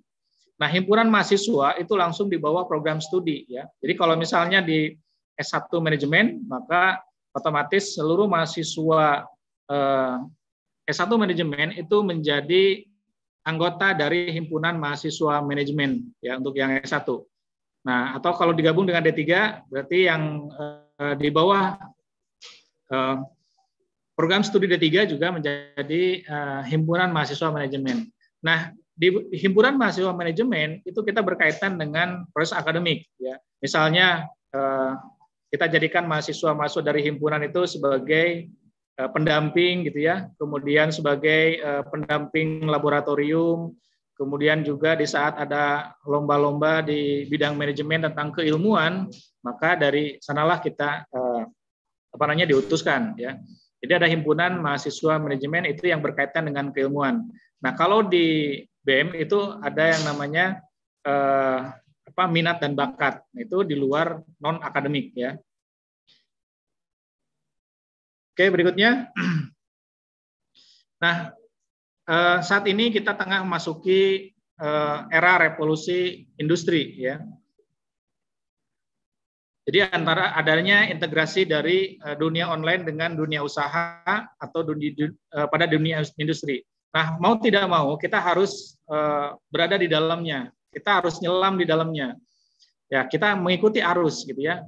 Nah, kita tidak bisa menolak arus yang datang dari luar ya terutama dari teknologi misalnya nah ini bisa kita lihat adanya mobil tanpa pengemudi ya kemudian adanya uh, pemakaian robot-robot ya. Kemudian juga uh, banyak sekali ya mesin-mesin produksi yang otomatis. Nah itu uh, salah satunya adalah perkembangan dari revolusi industri. Nah uh, lanjut ya. Nah, di revolusi industri ada 10 kemampuan yang harus kita miliki ya untuk menghadapi revolusi industri uh, eh, 4.0. Ya, saya ambil ini dari uh, penelitian World Economic Forum. Jadi ada 10 kemampuan yang harus kita miliki. Yang pertama adalah uh, complex problem solving. Ya, jadi kemampuan menyelesaikan masalah yang kompleks. Ya, kalau misalnya dulu kita di SMA uh, dari jadwal saja ini sudah sangat berbeda ya, belum lagi nanti masalah budaya yang uh, ada di perguruan tinggi. Nah, ini adalah salah satu perubahan yang harus uh, kita hadapi. Oke, kemudian yang kedua uh, adanya informasi dan teknologi. Nah, mau ke mau kita harus beradaptasi dengan teknologi dan juga dengan informasi.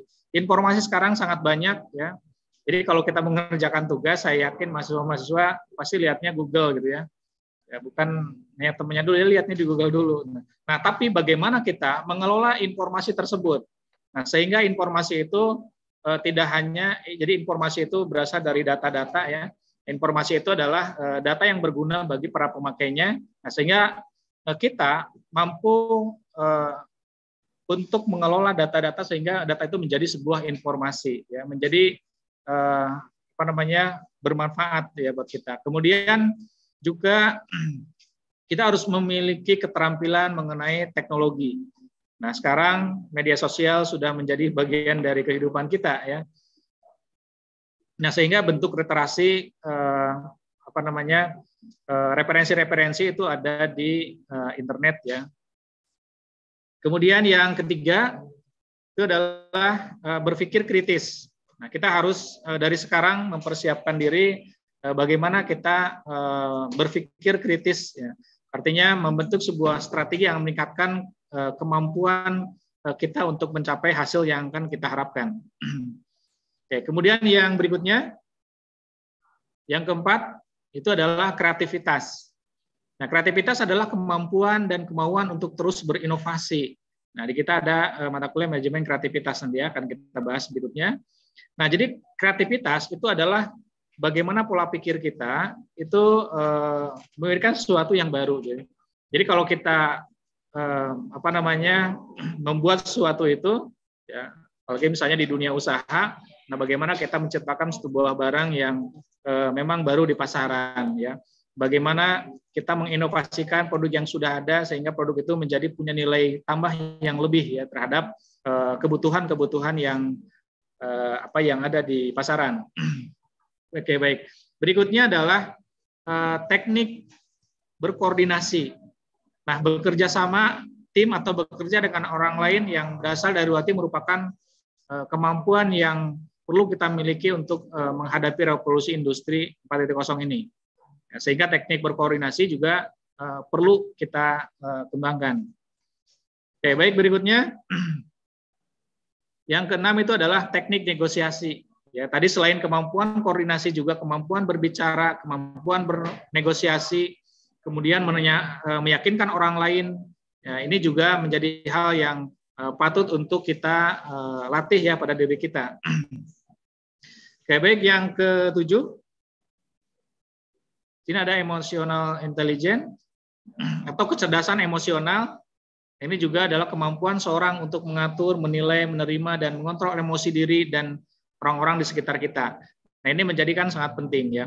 Kalau dulu uh, untuk menjadi seorang sukses itu adalah memerlukan intellectual quotient yang tinggi ya atau IQ yang tinggi, kemudian berubah juga menjadi uh, eh, EQ yang tinggi ya. Dan yang terakhir adalah eh, SQ yang tinggi. Ya, sehingga orang sukses itu tidak hanya me, uh, dari otaknya saja, dari kemampuannya saja, tapi juga dari emosionalnya dan juga dari spiritualnya. Oke, ya, ini salah adalah emotional intelligence. Nanti akan kita jabarkan ke dalam uh, mata kuliah yang kita perlukan. Kemudian yang ke-8 itu ada fleksibilitas kognitif. Nah, adalah kemampuan untuk menyusun secara spontan ya suatu pengetahuan dalam banyak cara. Ini kemampuan ini adalah cara bagaimana memberi respon penyusunan diri untuk mengubah situasi. Nah, adanya perubahan budaya dari yang sebelumnya, saya dari sekolah sebelumnya dari LTA ke perguruan tinggi, tentu di sini kita harus dapat menyesuaikan diri, harus cepat beradaptasi, ya tidak hanya pada eh, lingkungan, ya, tapi juga mungkin eh, cara kita ber apa namanya memiliki pola pikir ya di dalam uh, menghadapi uh, budaya baru yang kita hadapi ini. Oke, kemudian yang ke sembilan itu adalah berorientasi membantu. Ya, keinginan untuk membantu dan melayani orang lain itu dengan baik memenuhi Eh, kebutuhan-kebutuhan mereka ini menjadi sangat diperlukan ya sehingga nanti hasil dari poin 9 ini akan menghasilkan mata kuliah eh, pelayanan prima nanti ya. Baik, kemudian yang terakhir adalah membuat keputusan. Keinginan untuk membantu, kemampuan membuat keputusan adalah kemampuan untuk menarik sebuah kesimpulan ya atas situasi yang dihadapi seorang pemimpin tugas utamanya adalah memutuskan. Jadi membuat keputusan itu bukan suatu hal yang yang mudah gitu ya, tapi harus banyak sekali pertimbangan-pertimbangan. Nah, salah satu tugas utama seorang pemimpin itu adalah memutuskan. Nah, jika kita eh, ada di dalam sebuah perusahaan, kita seorang pemimpin, maka kemampuan kita yang paling utama yang harus kita miliki itu adalah kemampuan keputusan, yang memberikan keputusan. Oke, baik yang halaman terakhir. Nah, di sini ada untuk menjabarkan kebutuhan-kebutuhan yang tadi ya di STMB Bandung School itu ada mata kuliah-mata kuliah unggulan yang uh, memang kita persiapkan untuk menghadapi revolusi industri 4.0 ya mata kuliah motivasi kewirausahaan memang ini sudah kita desain dari tahun 97 jadi pertama kali berdiri kita mengadopsi dari uh, Harvard University ya. Di situ ada uh, apa tentang kewirausahaan. Yang perguruan tinggi lain di Indonesia itu masih belum ada belum belum ada yang menerapkan mata kuliah mata kuliah ini ya. Jadi adanya mata kuliah ini di eh, tahun-tahun uh, berapa 2000-an mungkin ya. Oke, kemudian uh, berikutnya ada kecerdasan emosional ya, yang tadi ada di poin yang telah saya jelaskan ya. Kemudian ada teknologi komunikasi. Nah, ini penting ya saya jelaskan teknologi komunikasi di dalamnya adalah bagaimana kita memanfaatkan sosial media, bagaimana memanfaatkan uh, blog, website dan uh, sebagainya itu dapat membantu di dalam proses perkuliahan. Ya, jadi uh, apa namanya uh, media sosial itu menjadi bagian yang tidak terpisahkan nanti di dalam uh, proses perkuliahan. Ya, nanti akan saya lebih jelaskan lagi di dalam uh, penjelasan tentang akademik ya. Kemudian berikutnya ada pendidikan agama dan bahasa Inggris. Nah, ini kemampuan yang harus kita miliki berikutnya. Pendidikan agama di kita sampai dengan semester 6 itu setiap semester ada pendidikan agama walaupun hanya satu SKS ya. Ini untuk eh, apa menjembatani visi kita berakhlakul karimah ya. Jadi pendidikan agama ini dari semester 1 sampai dengan semester 6 itu ada.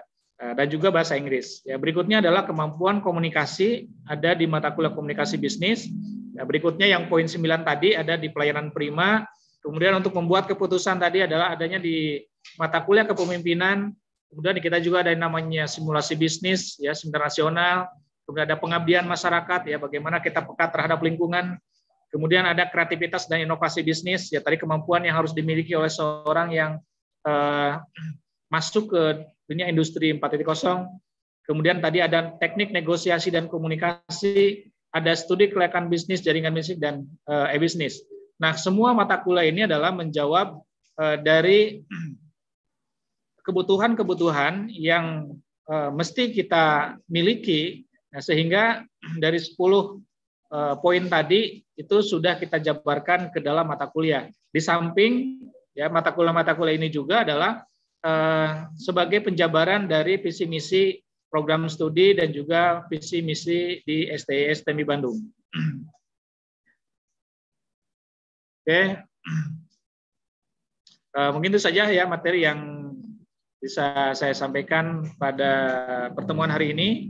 Nah, di sini saya uh, menulis rubahlah hidupmu, maka uh, hidupmu akan berubah. Nah, ini jargon ini uh, ini adalah pengalaman pribadi di saat dulu saya masuk ke dunia pendidikan ini sebagai cleaning service gitu ya. Dan sekarang kita uh, saya berada di sini ya mungkin salah satu moto hidup saya yang uh, selalu uh, apa namanya uh, saya tanamkan gitu dalam di jiwa kita. Mudah-mudahan ini menjadi uh, inspirasi juga buat yang lain. Oke baik, terima kasih atas perhatiannya. Wabillahi hidayah. Wassalamualaikum warahmatullahi wabarakatuh.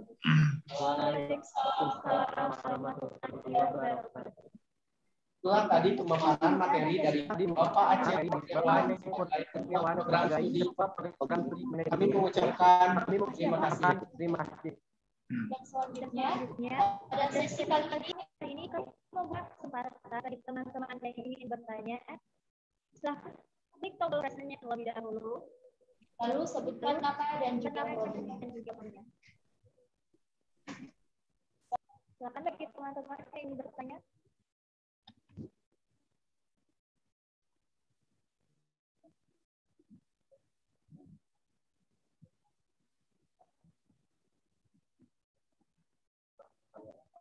Lagi.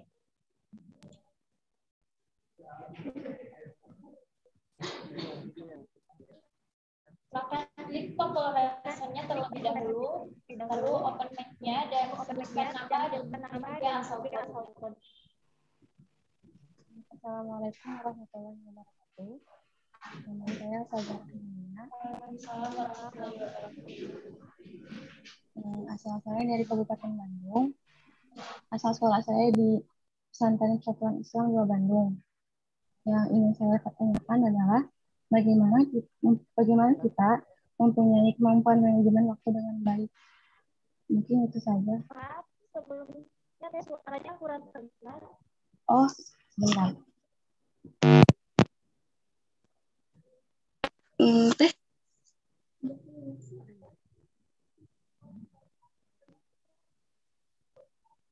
Dicoba lagi? Uh, Bismillahirrahmanirrahim. Assalamualaikum warahmatullahi wabarakatuh. Waalaikumsalam. Nama saya Fajar Rahmania. Asal saya dari Kabupaten Bandung. Asal sekolah saya di Pesantren Persatuan Islam Dua Bandung. Pertanyaan saya, Pak, bagaimana caranya kita dapat dapat mempunyai kemampuan memanajemen waktu dengan baik? Itu saja mungkin, Pak. Uh, terima kasih sebelumnya.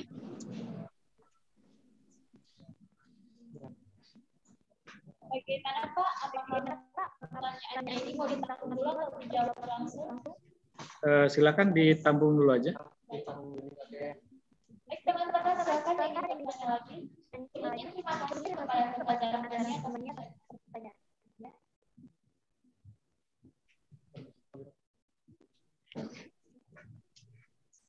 Silakan.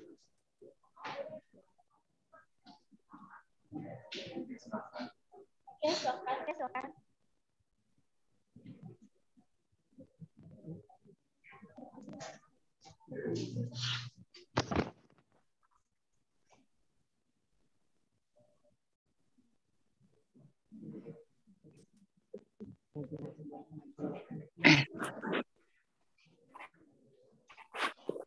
Assalamualaikum warahmatullahi wabarakatuh.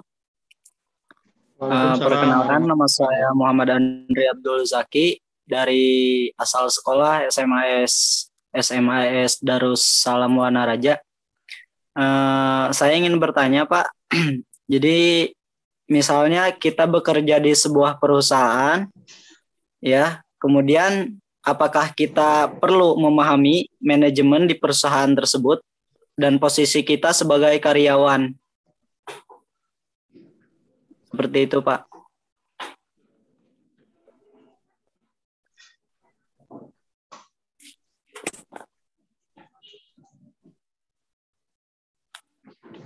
Baik, Oke, terima baik. kasih Pak atas pertanyaannya.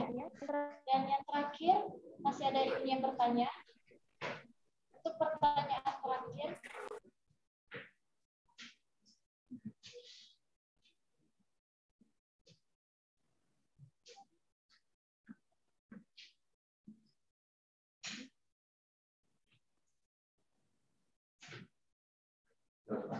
silakan.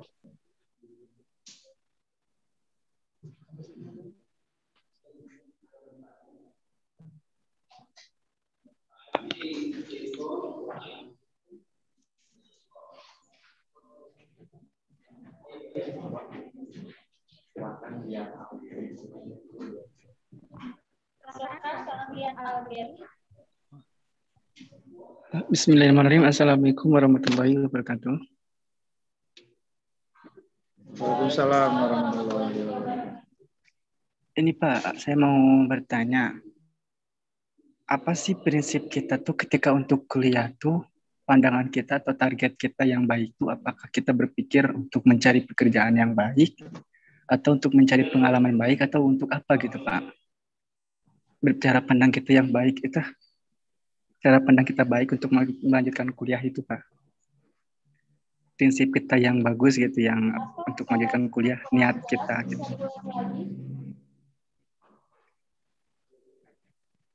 Halo, Kak?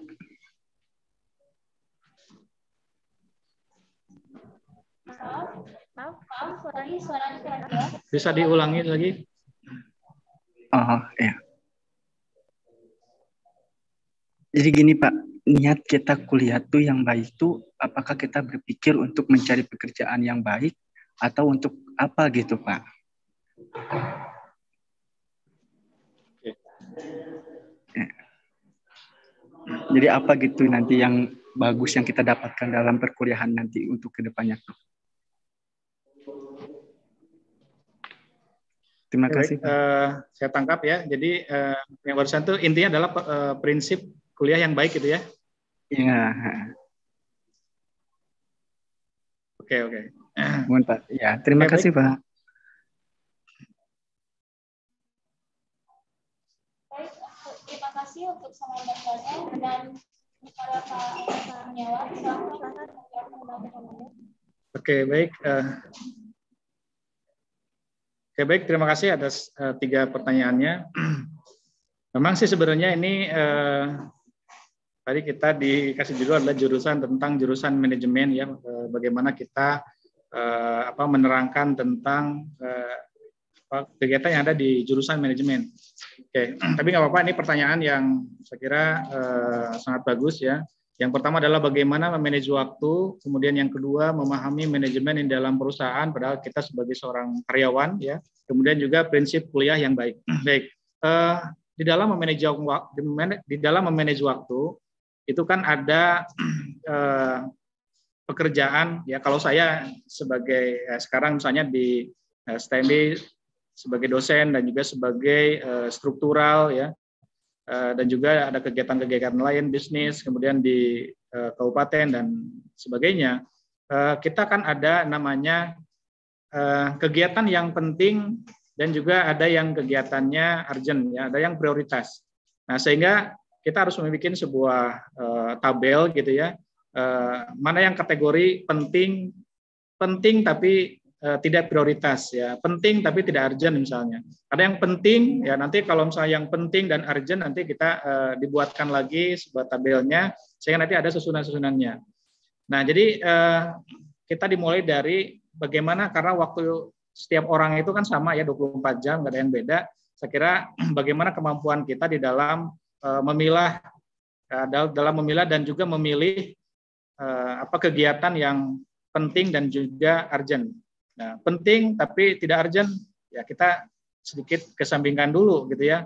Nah, ini, penting dan urgent, nah itulah yang eh, kita ambil dan berikutnya ya eh, kita eh, manage ya ke dalam eh, apa namanya kegiatan-kegiatan kita sehari-hari gitu.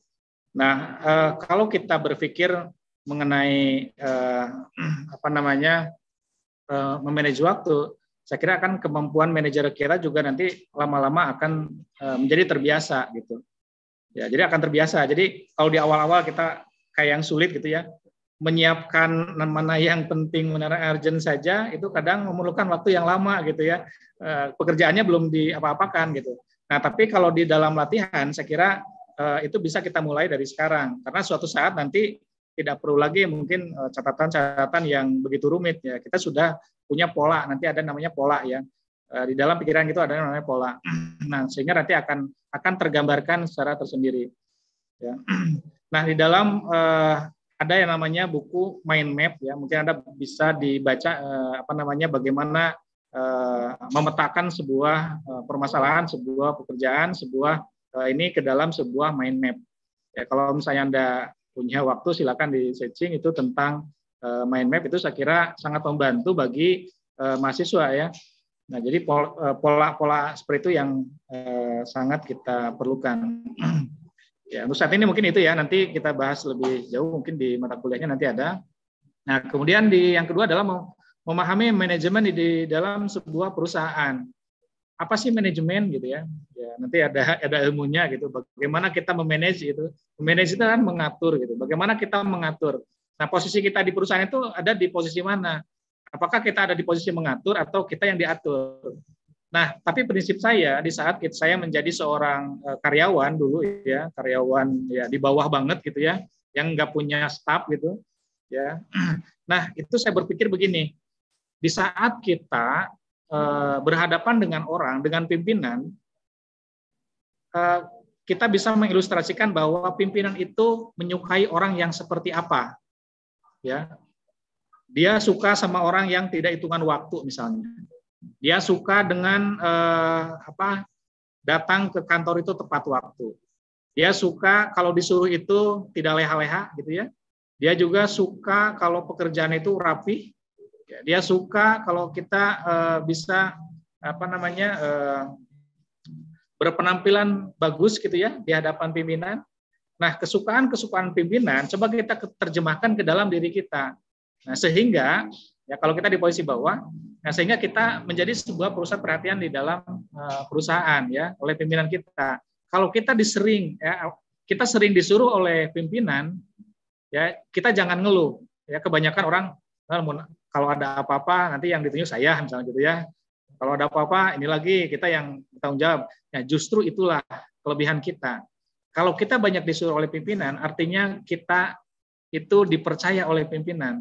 Ya, maka kita harus mau. Jadi saat kita mau, di saat nanti suatu saat ada kesempatan untuk naik karir, saya yakin yang diprioritaskan adalah Anda bukan orang lain. Maka kita tempatkanlah diri kita sesuai dengan kemauan pimpinan kita. Nah, begitupun kalau kita menjadi seorang pemimpin, maka kita juga harus tahu apa keinginan bawahan. Tidak hanya sekedar menekan, tapi juga ada reward and punishment gitu ya. Nah, tapi juga di situ ada yang namanya komunikasi. Bagaimana kita membangun komunikasi antara pimpinan dengan bawahan. Nah, ini juga sangat penting. Orang itu butuh itu tidak hanya semata-mata karena uang saja, tapi juga ada penghargaan-penghargaan bentuk lain, ya, bentuk terima kasih misalnya, eh, atau misalnya bentuk-bentuk pujian. Itu adalah eh, sebuah penghargaan yang saya kira eh, sangat perlu ya kita lakukan.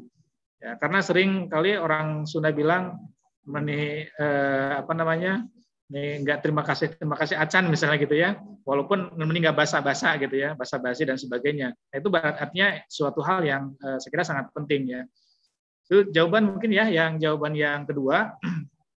Kemudian yang ketiga adalah prinsip kuliah yang baik Nah, sama halnya dengan eh, kalau saya ibaratkan sebuah perjalanan wisata ya. Kalau misalnya kita mau wisata ke Bali ya, mau wisata ke Jakarta, mau wisata ke luar negeri, itu yang jelas itu adalah tujuan ya. Nah, kalau kita sudah menentukan tujuan di awal bahwa eh, saya kuliah eh, ingin menjadi seseorang ya yang seperti ini, saya menjadi seorang pengusaha sukses, artinya jalannya pun harus menuju ke seorang pengusaha sukses Jangan ingin jadi seorang pengusaha sukses, menjadi seorang uh, seorang yang sukses tapi perjalanannya leha-leha gitu ya. Ya, apa namanya perkuliahannya menjadi diabaikan gitu ya. Kadang absen, kadang enggak. Ya, dosen menerangkan kita uh, telinganya ke mana gitu ya, uh, tidak memperhatikan dan seterusnya. Nah, sehingga tidak sesuai dengan apa yang kita tujukan di di awal gitu ya. Nah, tentunya ya memang nasib tidak ada yang tahu gitu ya, tapi kitalah yang menentukan nasib kita ke depannya. Ya, mungkin kalau saya dulu tidak kuliah, saya tidak akan menjadi uh, staf, ya, tidak akan menjadi se sekarang ini ya. Kemarin uh, Pak apa namanya salah satu alumni kita yang punya apa Kosaki Soka itu bercerita uh, dia menjadi pembicara di uh, Pusdai ya. 10 tahun sebelumnya dia berjualan berjualan di situ ya jualan kos kaki banyak teman-temannya di situ ya yang jualan sama-sama jualan uh, kaki lima pedagang kaki lima. Nah pas ketemu ya kemarin itu uh, apa namanya uh, dia menjadi seorang pembicara di sana ya tentang uh, kaos kaki halal. Nah uh, di saat berbincang dengan mereka uh, kiatnya apa ya dia terus uh, berkuliah gitu ya dari S1 S2 sampai dengan S3 Nah, yang dulunya sama-sama jadi pedagang asongan, Nah, sekarang uh, levelnya udah berbeda. Nah, itu pun udah menunjukkan bahwa uh, dia punya tujuan, punya cita-cita yang uh, mungkin berbeda ya. Nah, sehingga dari cita-cita itu akan membentuk sebuah kebiasaan, uh, sebuah tujuan hidup dan juga uh, apa yang kita uh, kerjakan. Kalau Anda sebagai seorang mahasiswa, saya kira Anda sudah paham apa apa yang menjadi tugas utama mahasiswa Berarti kan belajar, belajar dan belajar gitu ya. Nah, masalah nanti bekerja ataupun berwirausaha, ya itu kita sudah persiapkan. Menjadi seorang pengusaha kita sudah siapkan sekarang, menjadi seorang e, bekerja juga kita sudah siap gitu. Artinya kita harus mampu mempersiapkan diri di saat ada kesempatan, maka kita yang paling dulu e, yang bisa mengambilnya. Jangan sampai ada kesempatan tapi kita tidak punya kemampuan. Itu yang e, saya kira yang sangat di, tidak kita harapkan. Ya. Nah, sehingga di saat kita punya kemampuan, ada kesempatan bertemu, maka di situlah uh, kesuksesan yang uh, dinantikan oleh kita. Mungkin itu jawabannya. Ya, mudah-mudahan jawabannya kurang puas sehingga Anda mencari uh, jawaban yang bisa lebih memuaskan Anda.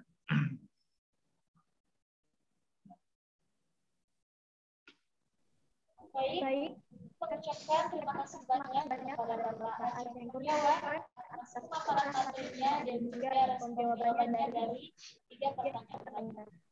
Dan juga terima kasih kepada teman-teman yang sudah bertanya. Semoga apa yang beliau sampaikan bermanfaat untuk kita. Nah, untuk terakhir sesi tanya jawab ini, kita telah memasuki waktu untuk istirahat, sholat, dan juga makan. Nah, teman-teman semuanya, kami persilakan untuk istirahat dan juga untuk sholat. Ini waktunya cukup lama ya teman-teman. Uh, saya harap bisa dimanfaatkan baik mungkin. Jangan lupa untuk sholat ya. Teman-teman juga bisa makan siang dulu. Lalu kami akan kembali untuk uh, bergabung kembali di, di Zoom ini pada pukul 12 lebih 30 ya sekali lagi untuk bergabung kembalinya jam 12 lebih 30 ya. Nah baik, tapi sebelum ubah nih, saya ingin mendengar lagi tentang dan kekompakan teman-teman semua. Masih ingat kan slogan yang tadi siapkan? Ya.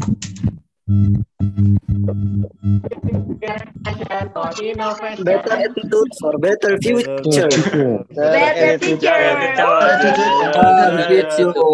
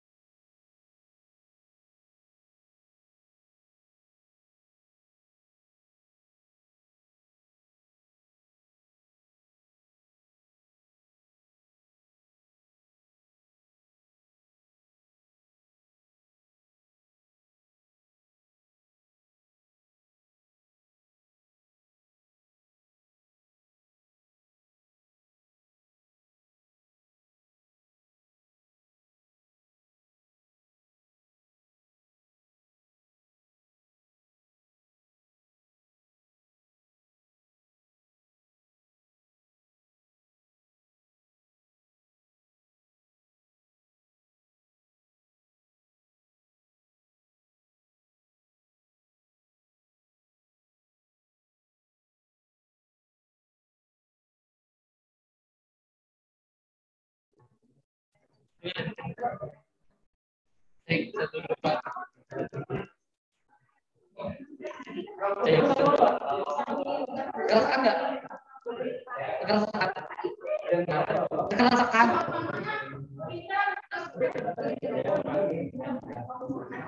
Cek satu. Yang ngomong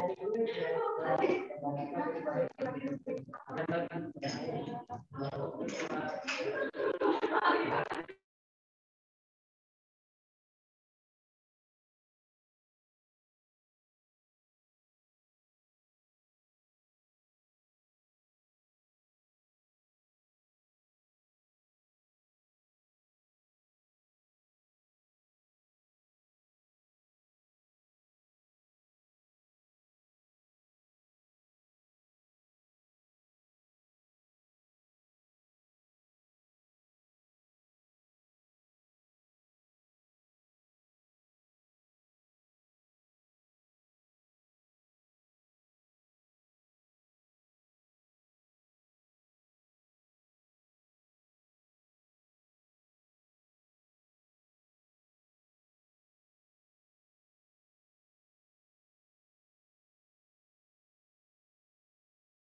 Thank you.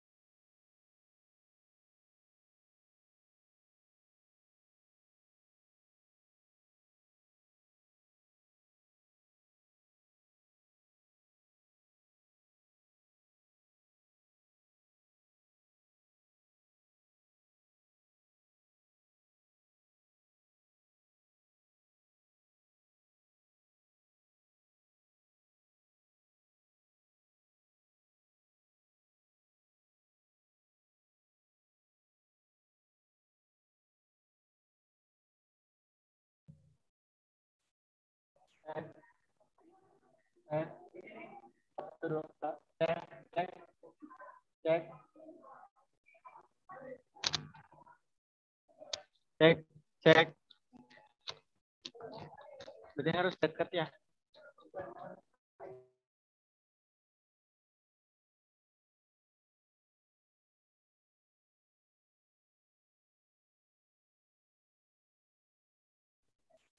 Eh, informasi kembali ya buat teman-teman yang sudah bergabung. Mohon untuk menghubungi teman-temannya yang lain supaya bisa bergabung juga karena sebentar lagi acara akan dilanjutkan.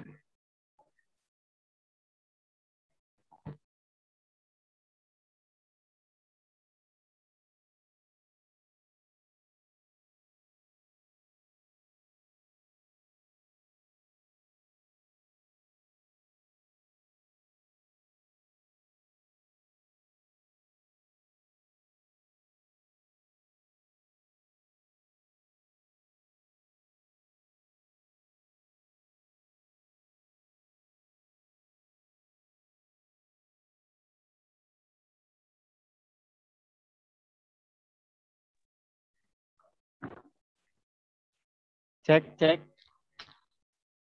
Saya bisa dengar. Cek. Eh, sekali lagi. Diinfokan kembali ya buat teman-teman yang belum yang sudah bergabung harap memberi informasi lagi kepada teman-teman yang belum bergabung supaya cepat bergabung karena acaranya akan dilanjutkan.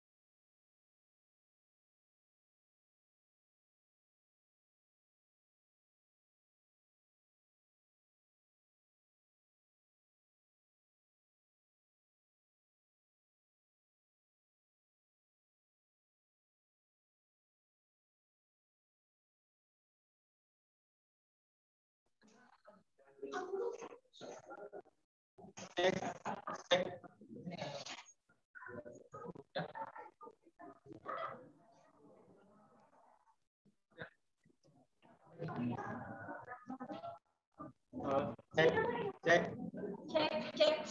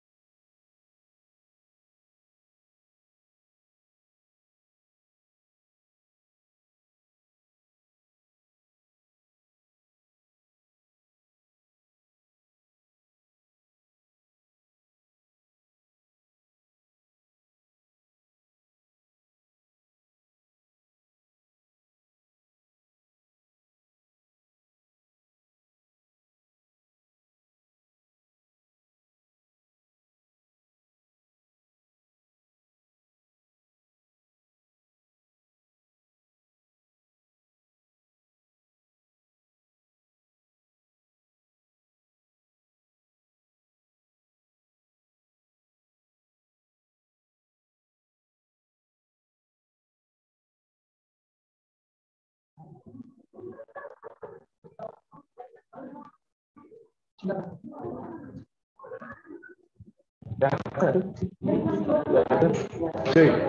satu. Dua. Satu, dua. Satu, dua. Satu, dua. Kepala speaker kepala speaker. Cek. Satu, dua, cek. Cek. Satu.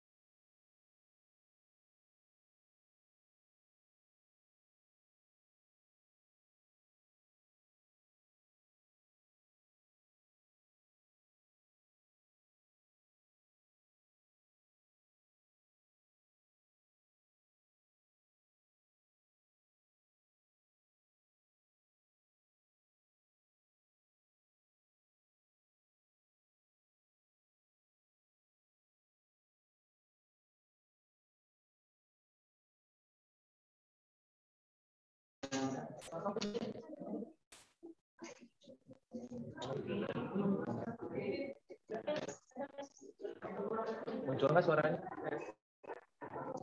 Bas, bas.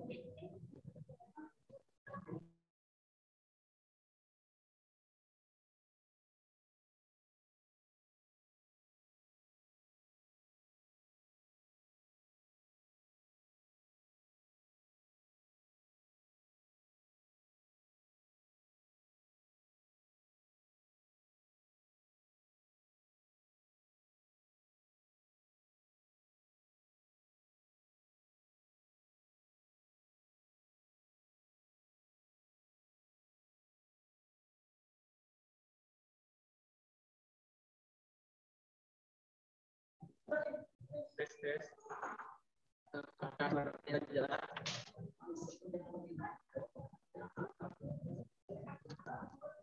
Tes. Tes tes.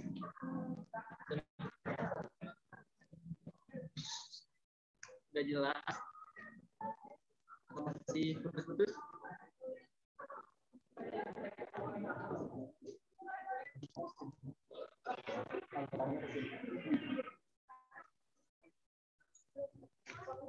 putus-putus?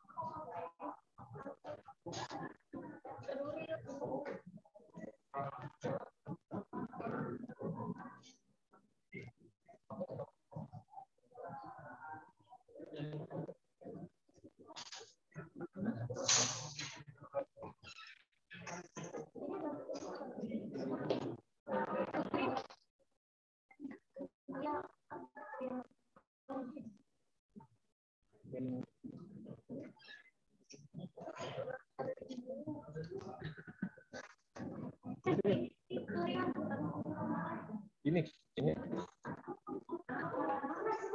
Oh ini.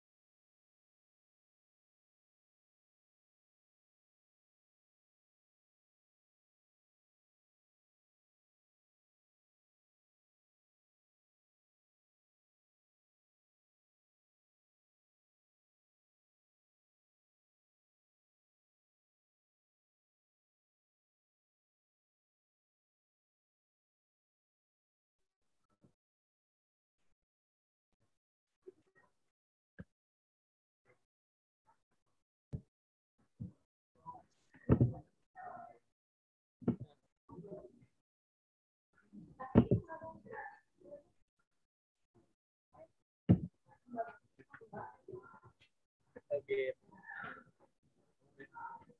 Tes.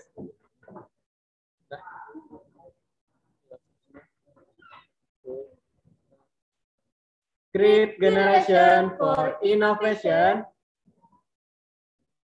Ada suaranya kah? Kita ulang sekali lagi ya. Satu, dua, tiga. Great generation for innovation.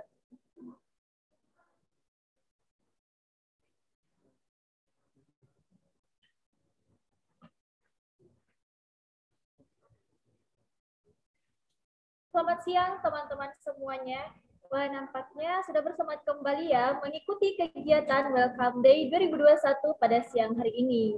Nah, meskipun jam-jam segini mungkin waktunya teman-teman untuk istirahat, untuk rebahan-rebahan, untuk santai-santai gitu ya.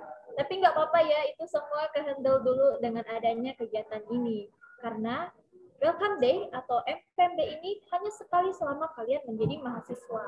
Maka dari itu, jadikan kegiatan ini sebagai momentum yang sangat berkesan untuk teman-teman semua. Nah, betul sekali ya. Kegiatan ini harus dijadikan sebagai momen yang sangat berkesan.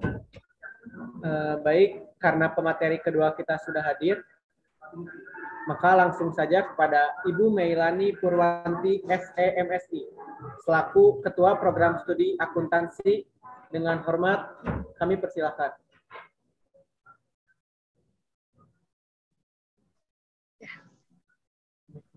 Oke, udah ya.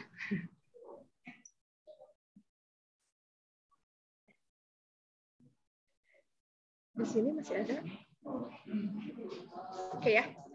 Eh, Oke, baik. Terima kasih eh, MC atas kesempatannya. Assalamualaikum warahmatullahi wabarakatuh. Ya, selamat siang, uh, salam sejahtera untuk kita semua. Semoga semuanya juga dalam keadaan sehat-sehat ya.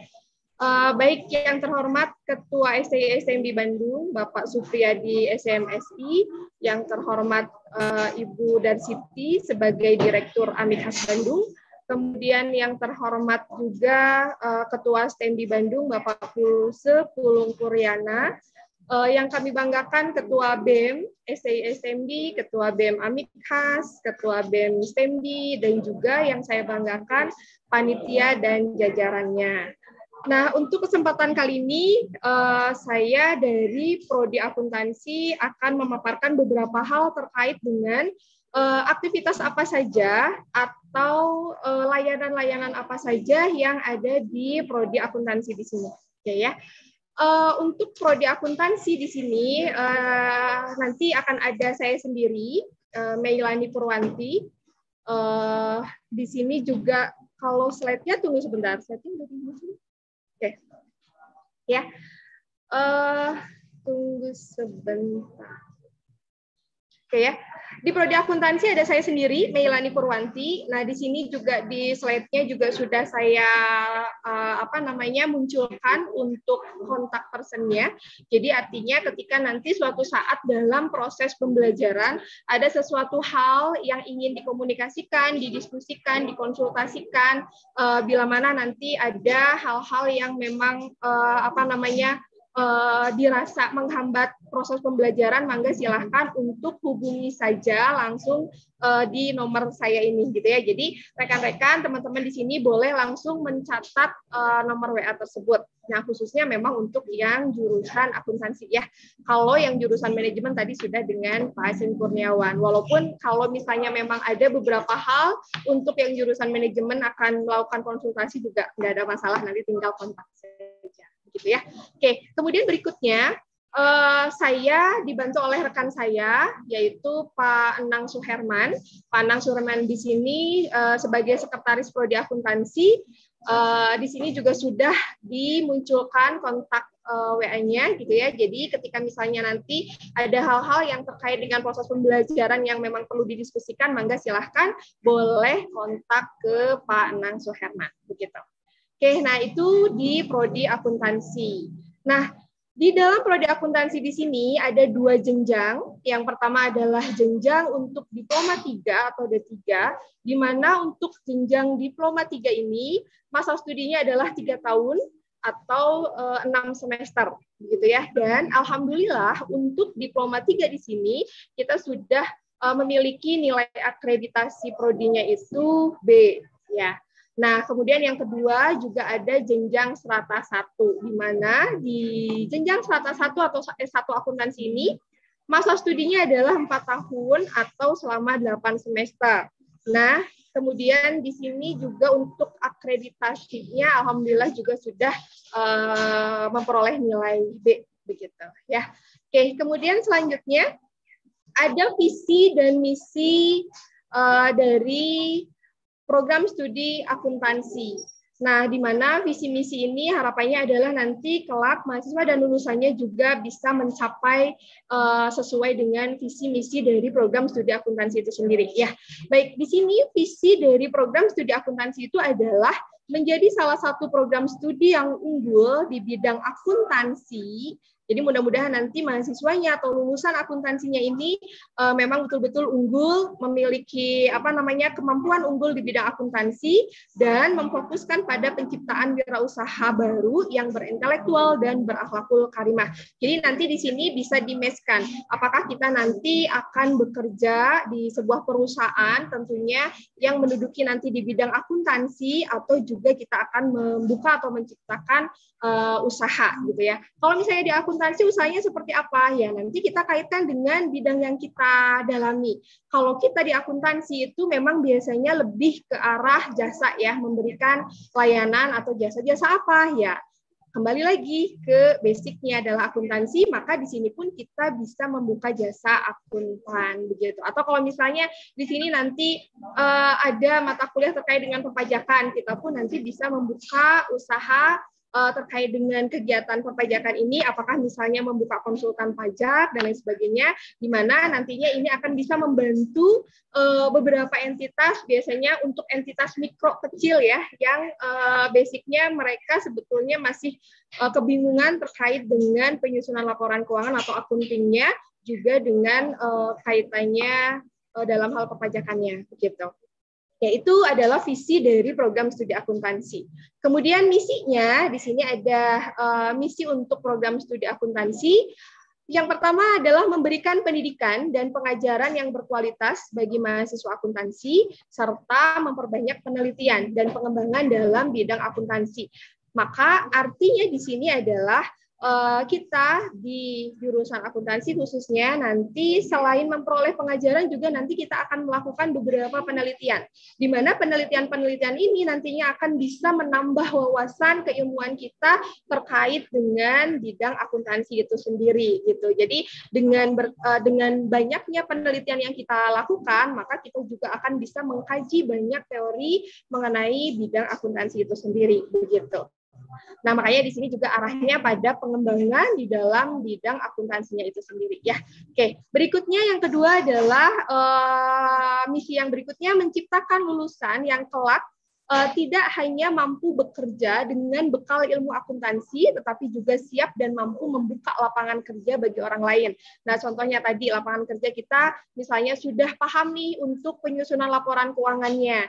Kemudian kita juga sudah banyak pengalaman dalam menyusun laporan keuangan baik untuk perusahaan jasa, dagang, manufaktur, untuk seluruh entitas, entitas mikro, kecil, menengah, besar, koperasi dan lain sebagainya. Nah, sehingga nanti kita bisa membantu untuk entitas-entitas tersebut dalam menyusun laporan keuangan. Biasanya memang kalau untuk entitas yang masih kecil, mereka belum punya bagian accountingnya. Nah, sehingga karena belum punya bagian accountingnya, kita bisa masuk di situ. Kita bisa memberikan jasa akuntan kepada mereka, begitu ya. Oke, berikutnya yang ketiga, menciptakan lulusan yang mahir dalam bidang akuntansi dan juga berakhlakul karimah.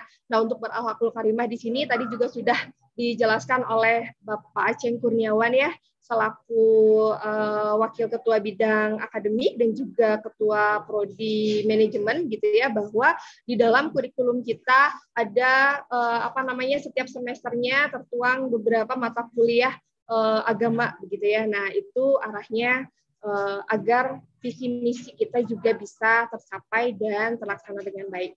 Kemudian yang keempat, uh, misi berikutnya yaitu menciptakan sarjana akuntansi yang mandiri dan juga bermoral. Oke, nah itu adalah visi misi dari program studi akuntansi. Nah, kemudian di sini uh, untuk lulusan akuntansi harapannya adalah uh, nantinya akan memahami di beberapa bidang pelayanan keahlian. Apa saja? Yang pertama, bisa uh, di bidang public accounting, di mana di bidang public accounting di sini yang dapat melayani masyarakat umum. Contohnya adalah kita bisa memberikan jasa akuntan tadi. Uh, misalnya untuk perusahaan mikro kecil menengah mereka kebingungan untuk menyusun laporan keuangan, sementara mereka uh, ketika ketika membutuhkan pendanaan, kemudian mengajukan pinjaman ke bank, bank biasanya suka minta satu syarat yaitu mana laporan keuangannya, begitu ya. Nah, sementara karena uh, usahanya masih mikro atau kecil sehingga uh, untuk penyusunan laporan keuangan mereka nggak bisa buat. Nah maka kita bisa masuk di dalamnya di situ. Kita bisa membantu bagi mereka yang memang membutuhkan, bagi masyarakat yang memang membutuhkan untuk memberikan jasa akuntan. Begitu. Kemudian juga bisa membantu melakukan pemeriksaan uh, laporan keuangan yang fungsinya adalah memberikan keyakinan kepada penggunanya bahwa informasi yang disajikan dalam laporan keuangan tersebut itu memang sudah sesuai dengan apa yang terjadi dan sesuai dengan aktivitas yang ada di perusahaan tersebut gitu ya. Nah, kenapa sih di sini memang kaitannya dengan laporan keuangan? Karena kita ada di prodi akuntansi. Nah, di dalam prodi akuntansi memang aktivitas banyaknya itu kita akan mempelajari banyak teknis, di mana teknis di sini uh, di akuntansi itu kan adalah uh, apa namanya suatu ilmu yang nantinya kita akan mengkaji bagaimana kita uh, bisa menyajikan informasi untuk perusahaan atau untuk pengguna yang lain ya di mana uh, informasi ini nantinya akan dapat dijadikan sebagai pengambilan keputusan. Nah, informasi ini dalam bentuk laporan keuangan gitu. Makanya fokusnya arahnya bidangnya ke laporan keuangan tadi begitu ya. Oke. Berikutnya bidang pelayanan berikutnya ada private accounting di mana di dalam private accounting ini dapat terlibat di berbagai bidang pekerjaan Nah, di sini kalau dalam suatu organisasi atau dalam suatu perusahaan, kita bisa menjadi bagian atau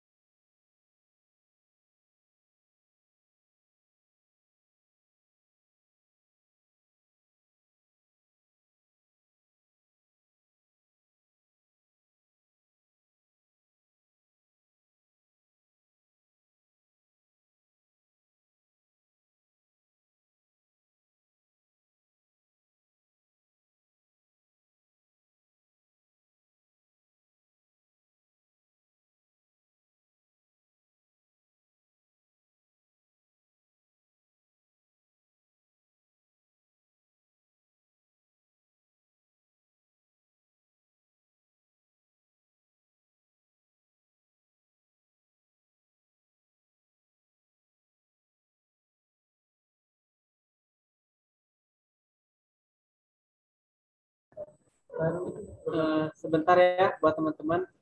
Mungkin kayaknya tadi ada kendala di sinyal.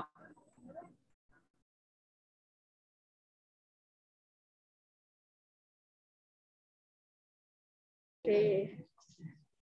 Tadi terputus ya, mohon maaf terputusnya sampai di mana tadi?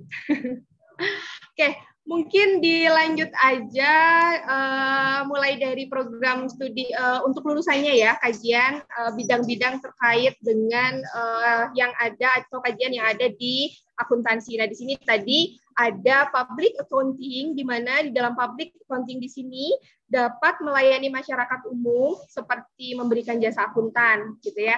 Tadi udah dicontohkan kalau uh, memberikan jasa kepada akuntan contohnya adalah misalnya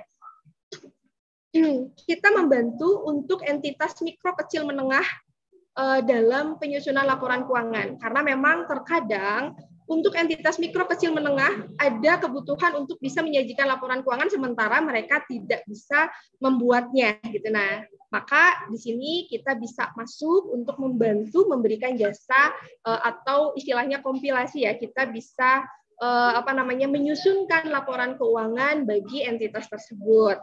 Nah, kemudian juga uh, kita bisa uh, membantu melakukan pemeriksaan laporan keuangan itu sendiri atau audit atas laporan keuangan, di mana fungsinya adalah untuk memberikan keyakinan kepada penggunanya itu dalam yang menyatakan bahwa memang Eh, laporan keuangan yang disajikannya itu sudah sesuai dengan apa yang terjadi dan apa yang sudah dilaksanakan oleh perusahaan tersebut begitu.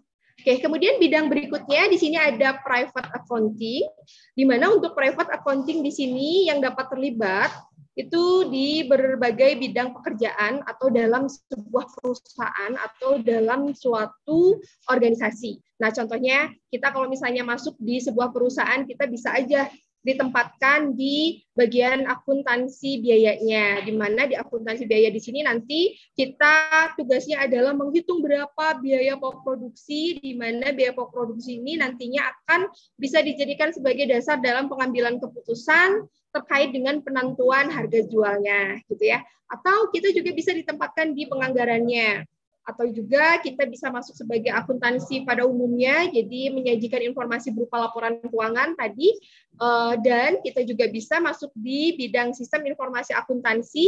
Jadi kalau misalnya kita udah memahami siklus akuntansinya, kita udah memahami sistemnya, gitu ya, kita sudah belajar eh, aplikasi Excel, maka dari situ kita bisa juga membuat misalnya aplikasi sederhana ya untuk sistem akuntansi penjualan atau sistem akuntansi pembelian dan lain sebagainya. Nah itu nanti kajian-kajian di bidang eh, keahlian akuntansi. Nah, selain itu di sini juga nanti akan ada eh, apa namanya perpajakan ya. Jadi eh, di perpajakan ini juga untuk konsentrasinya juga akan eh, dibuka untuk perpajakan. Jadi siapa saja teman-teman di sini mahasiswa akuntansi yang berminat untuk menggali lebih dalam lagi terkait dengan perpajakan bisa dilakukan lakukan atau difasilitasi di sini. Oke, kemudian di sini juga ada pemeriksaan internal ya. Jadi eh, kita juga bisa melakukan pemeriksaan khususnya untuk aktivitas apa saja yang sudah dilakukan di dalam internal perusahaannya. Kalau tadi eh, yang pertama public accounting tadi adalah pemeriksaan eksternal ya. Jadi yang melakukan pemeriksaan itu adalah pihak luar. Kalau internal itu berarti kita sendiri. Nah, itu adalah eh, beberapa bidang yang nanti akan kita dalami untuk eh, jurusan akuntansi, begitu ya. Oke, berikutnya di sini untuk program studi akuntansi eh, baik kalau untuk S1 itu total kita menawarkan kurikulum sebanyak 144 SKS untuk S1 dan juga 112 SKS untuk D3. 144 SKS S1 ini kisarannya ada sekitar 54 mata kuliah. Jadi selama 8 semester kita akan belajar sebanyak eh, 144 SKS atau 54 mata kuliah. Nah, untuk D3-nya itu kita menawarkan kurikulum dengan 112 SKS eh, atau kalau untuk mata kuliahnya itu sekitar 42 gitu ya. Nah, itu untuk eh, S1 dan D3 tadi. Oke, berikutnya di sini eh, ada kepeminatan terkait atau konsentrasi yang ditawarkan konsentrasi yang ditawarkan oleh program studi akuntansi. Nah, apa saja? Yang pertama eh, nanti akan ada akuntansi keuangan, di mana dalam akuntansi keuangan di sini nanti fokusnya kita akan lebih eh, dalami lagi eh, untuk bisa menyusun laporan keuangan, baik untuk industri jasa, dagang, manufaktur, ataupun untuk semua entitas mikro, kecil, menengah, besar, karena memang untuk beberapa entitas ini eh, ada standar akuntansi keuangan yang memang harus kita pegang, begitu ya. Karena kalau untuk entitas mikro, kecil, dengan entitas yang besar, itu pastinya ada beberapa standar yang berbeda. Nah, nanti kita akan pelajari di sini.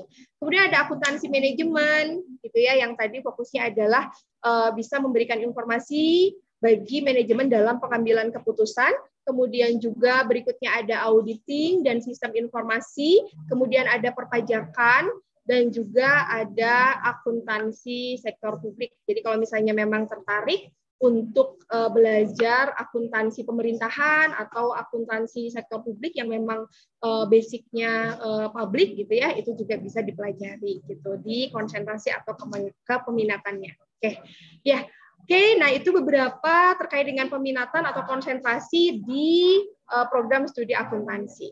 Nah, berikutnya ada beberapa layanan yang bisa dilakukan atau aktivitas-aktivitas yang bisa uh, diberikan di prodi akuntansi. Nah, pertama di sini ada layanan akademik ya. Untuk layanan akademik, di sini layanan mahasiswa eh, terkait dengan informasi kebutuhan mahasiswa selama perkuliahan sampai dengan selesai. Jadi tadi kalau misalnya memang ada hal-hal yang terkait dengan proses pembelajaran dirasa itu nanti akan mengganggu dan lain sebagainya, lebih baik dikomunikasikan aja kami sehingga kami tahu eh, apa namanya mahasiswa yang bersangkutan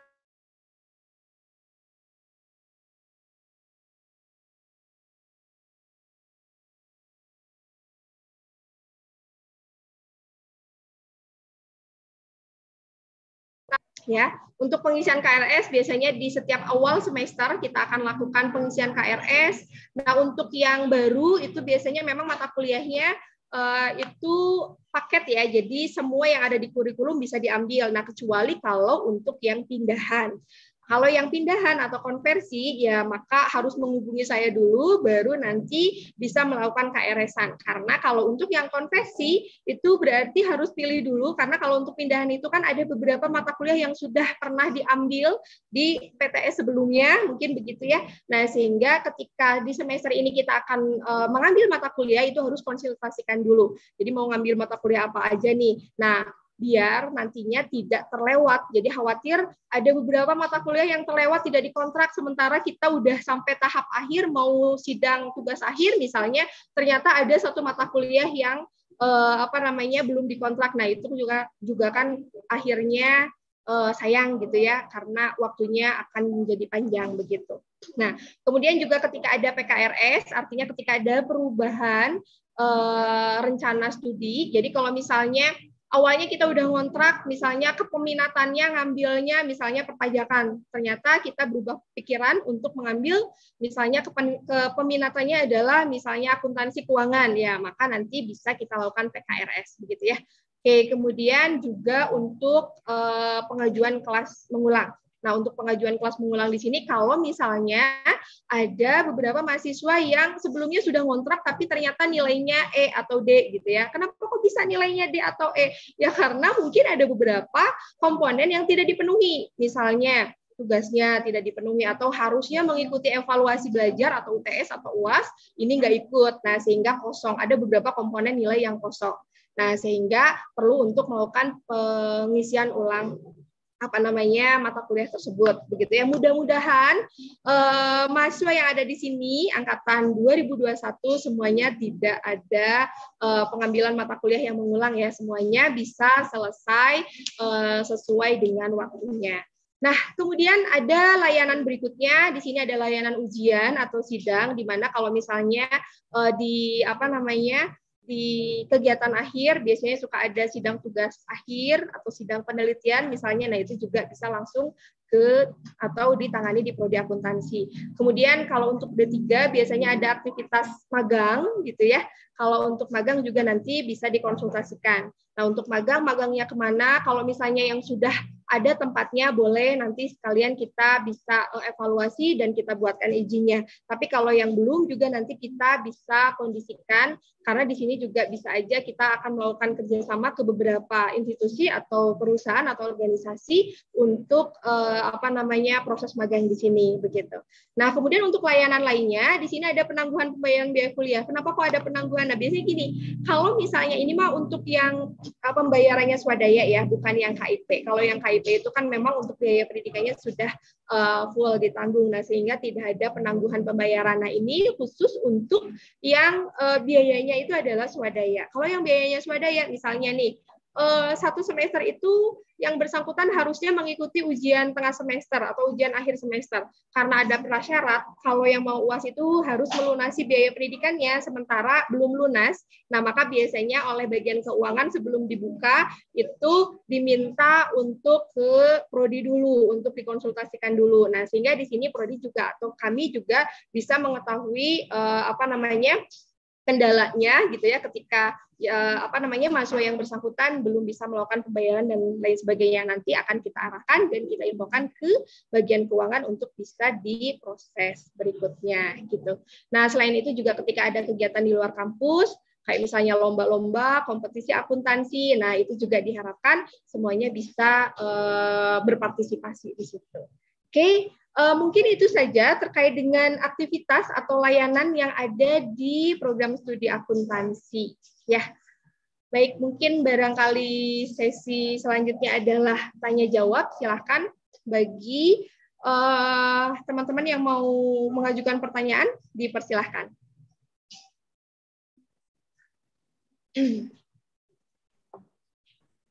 Iya. Tadi suaranya bisa kedengeran kan ya? Bisa. Mangga silakan barangkali ada pertanyaan. Boleh, ada tuh. Atas nama Fadilah. Oke, buat Kang Fadilah boleh Ada. diajukan pertanyaannya.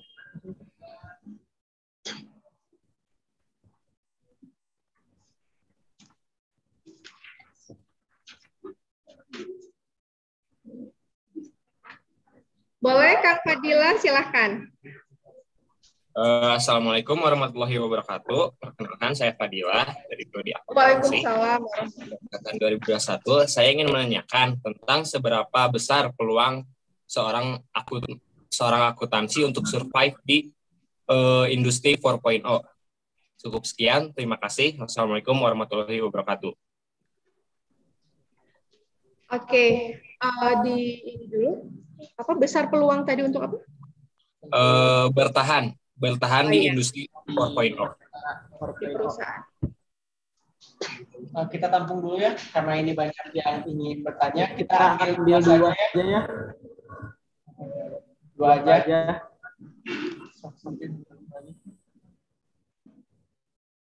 Oke, silakan ada lagi. Boleh. Silakan. Silakan Pak Muhammad Satriawan. Assalamualaikum warahmatullahi taala wabarakatuh. Perkenalkan nama saya Muhammad Satriawan. Saya dari Prodi Manajemen. Ingin bertanya, eh, saya banyak menemui eh, beberapa aplikasi ataupun platform yang menyediakan beberapa jasa produk akuntansi seperti eh, laporan keuangan, cash flow dan sebagainya. Eh, kalau boleh saya sebutkan nama aplikasinya yaitu eh, ada aplikasi toko, buku warung dan lain sebagainya. Nah, itu kan secara teknis merupakan eh, saingan untuk para tenaga akuntansi gitu, untuk para tenaga akuntan. Nah, yang jadi pertanyaan, apa kiranya yang akan diberikan SISTMB dalam kurikulumnya untuk para mahasiswanya agar eh, survive dan bersaing di era digital menghadapi eh, kecerdasan-kecerdasan yang menyediakan jasa produk akuntansi seperti itu. Terima kasih.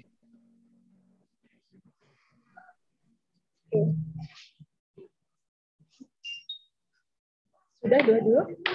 Oke. Hah? Oh, dua aja. Oke, baik ya. Oke, eh, tadi bagaimana kita bisa bertahan eh, di bidang akuntansi khususnya di suatu atau sebuah perusahaan begitu ya. Nah, jadi memang eh, di awal ketika kita memiliki kepeminatan di bidang akuntansi, baiknya memang kita dalami bidang itu sedemikian rupa, nah sehingga nanti itu akan bisa menjadi bekal pada saat kita masuk pada dunia kerja, begitu ya. Nah, pada saat masuk ke dunia kerja, ya mungkin kita yang jurusan akuntansi bisa jadi kita masuknya eh, di dunia kerja bukan pada bidangnya, bisa jadi juga seperti itu. Tapi eh, manakala kita eh, diberi rezeki dengan masuk di bidangnya gitu kan ya. Kalau misalnya kita memang sudah eh, apa namanya memahami betul bagaimana eh, proses accountingnya karena gini ketika kita belajar di dalam satu semester karena banyak mata kuliah yang disajikan ada beberapa memang kita mungkin eh, apa namanya nggak nggak ahli di satu bidang tapi ahli di bidang yang lainnya begitu ya. Nah kalau misalnya kita kepe- kepeminatannya ada di satu bidang itu baiknya memang ditelusuri terus eh, atau misalnya kita bisa eh, langsung fokus terus ke bidang tersebut. Jadi misalnya di sini kita itu nanti di semester kalau untuk S1 di semester 2 semester akhir semester 7 dan 8 begitu ya.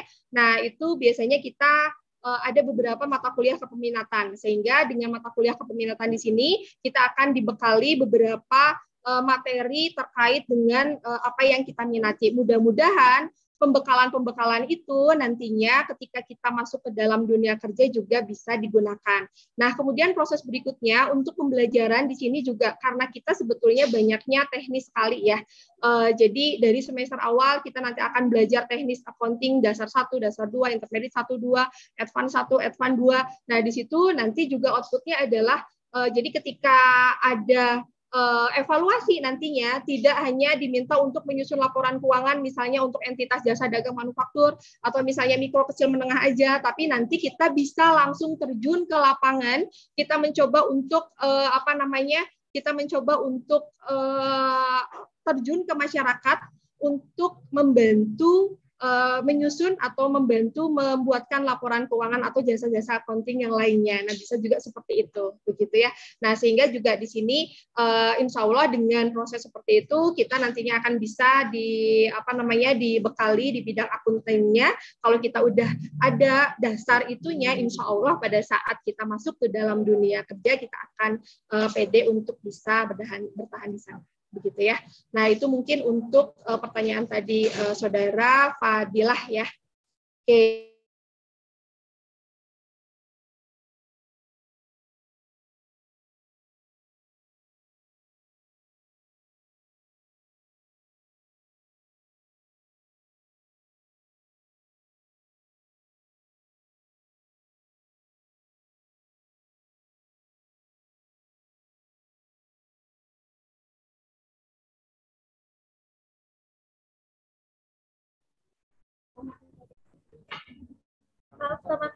sepertinya ada kendala sinyal, maka kami meminta maaf dan mohon ditunggu dulu ya.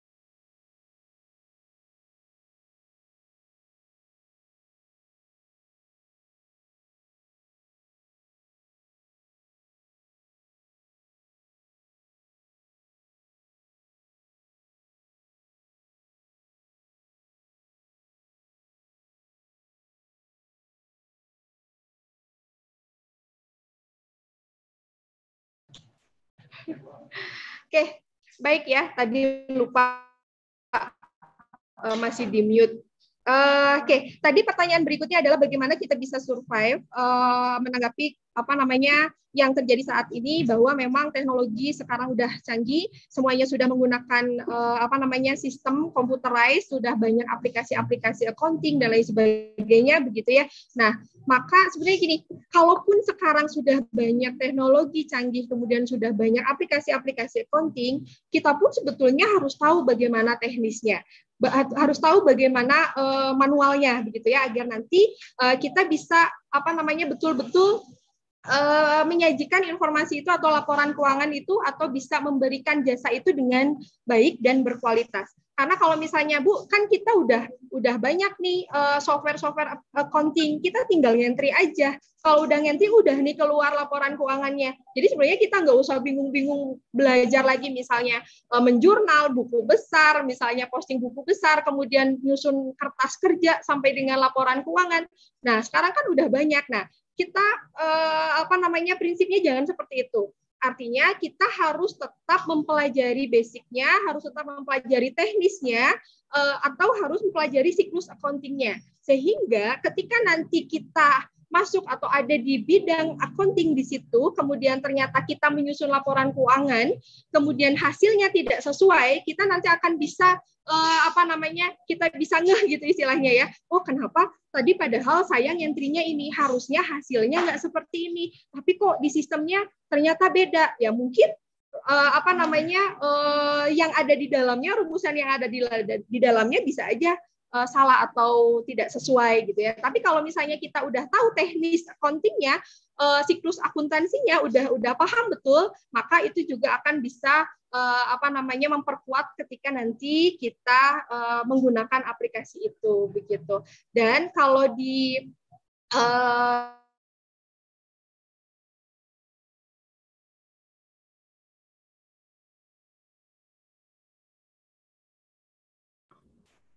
uh, mohon ditunggu lagi ya. Aduh, ini ada kendala lagi soalnya.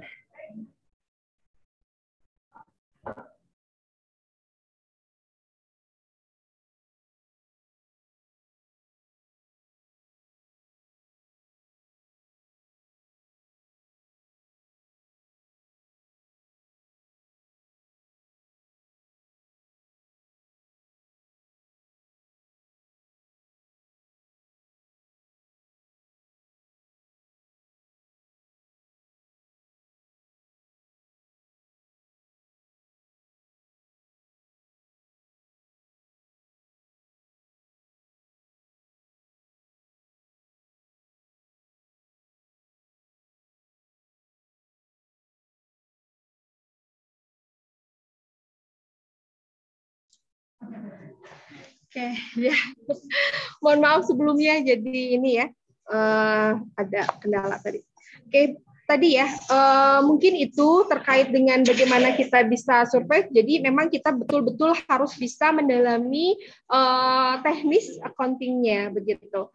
Nah kemudian di sini juga di SCSMB sendiri ada juga nanti beberapa mata kuliah yang terkait dengan misalnya eh, kita belajar sistem informasi sistem akuntansinya. Jadi alur proses untuk eh, apa namanya setiap aktivitas yang ada di perusahaan. Nah sehingga dari situ eh, kita juga akan bisa memiliki gambaran untuk eh, apa namanya sistem akuntansi terintegrasinya gitu. Nah, cuman kalau sampai dengan pembuatannya karena memang tidak ada mata kuliah yang didesain di sini untuk bagaimana cara membuat aplikasinya, ya maka kita hanya sebatas sampai dengan kita bisa menyajikan informasi berupa laporan keuangan tadi. Atau kita bisa eh, apa namanya bisa memberikan atau membantu untuk me- eh, membuat laporan pajaknya misalnya seperti itu. Ya. Nah kecuali kalau misalnya nanti ada integrasi temenan sama eh, apa namanya teman-teman yang ada di Amikhas jadi ada satu mahasiswa akuntansi, satu mahasiswa amikas, nah berpadu ilmu, jadi sambil ngobrol misalnya, saya tahu nih ilmu akuntansinya, kata anak amikas, mahasiswa anak amikas, misalnya saya tahu nih bagaimana cara bikinnya gitu ya, nanti compare aja di situ, bisa saja eh, menjadikan eh, apa namanya, bisa menghasilkan suatu produk, misalnya kita bisa bikin eh, apa namanya sistem akuntansi penjualan, sistem akuntansi pembelian dan lain sebagainya begitu. Ya, nah mungkin itu aja terkait dengan eh, tadi beberapa pertanyaan dari saudara Fadilah dan satunya lagi saya lupa lagi siapa ya. Eh, nanti kalau misalnya ada yang perlu ditanyakan lagi, boleh silahkan tadi sudah di share juga ya eh, untuk apa? Untuk nomor WA-nya boleh nanti langsung bisa dikonsultasikan saja. Ya, satu lagi. Udah. Ya. Nah, baik, kami mengucapkan terima kasih kepada Ibu Melani Purwanti atas pemaparan dan juga teman-teman tadi yang sudah bertanya. Nah, kami juga mengucapkan terima kasih. Semoga apa yang tadi Melani sampaikan dapat bermanfaat ya buat kita semuanya. Baik, kita melangkah ke materi selanjutnya oleh Bapak Mamok Andri Sanubekti, Eskom Mkom, selaku Kaprodi Manajemen Informatika. Dengan hormat kami persilahkan.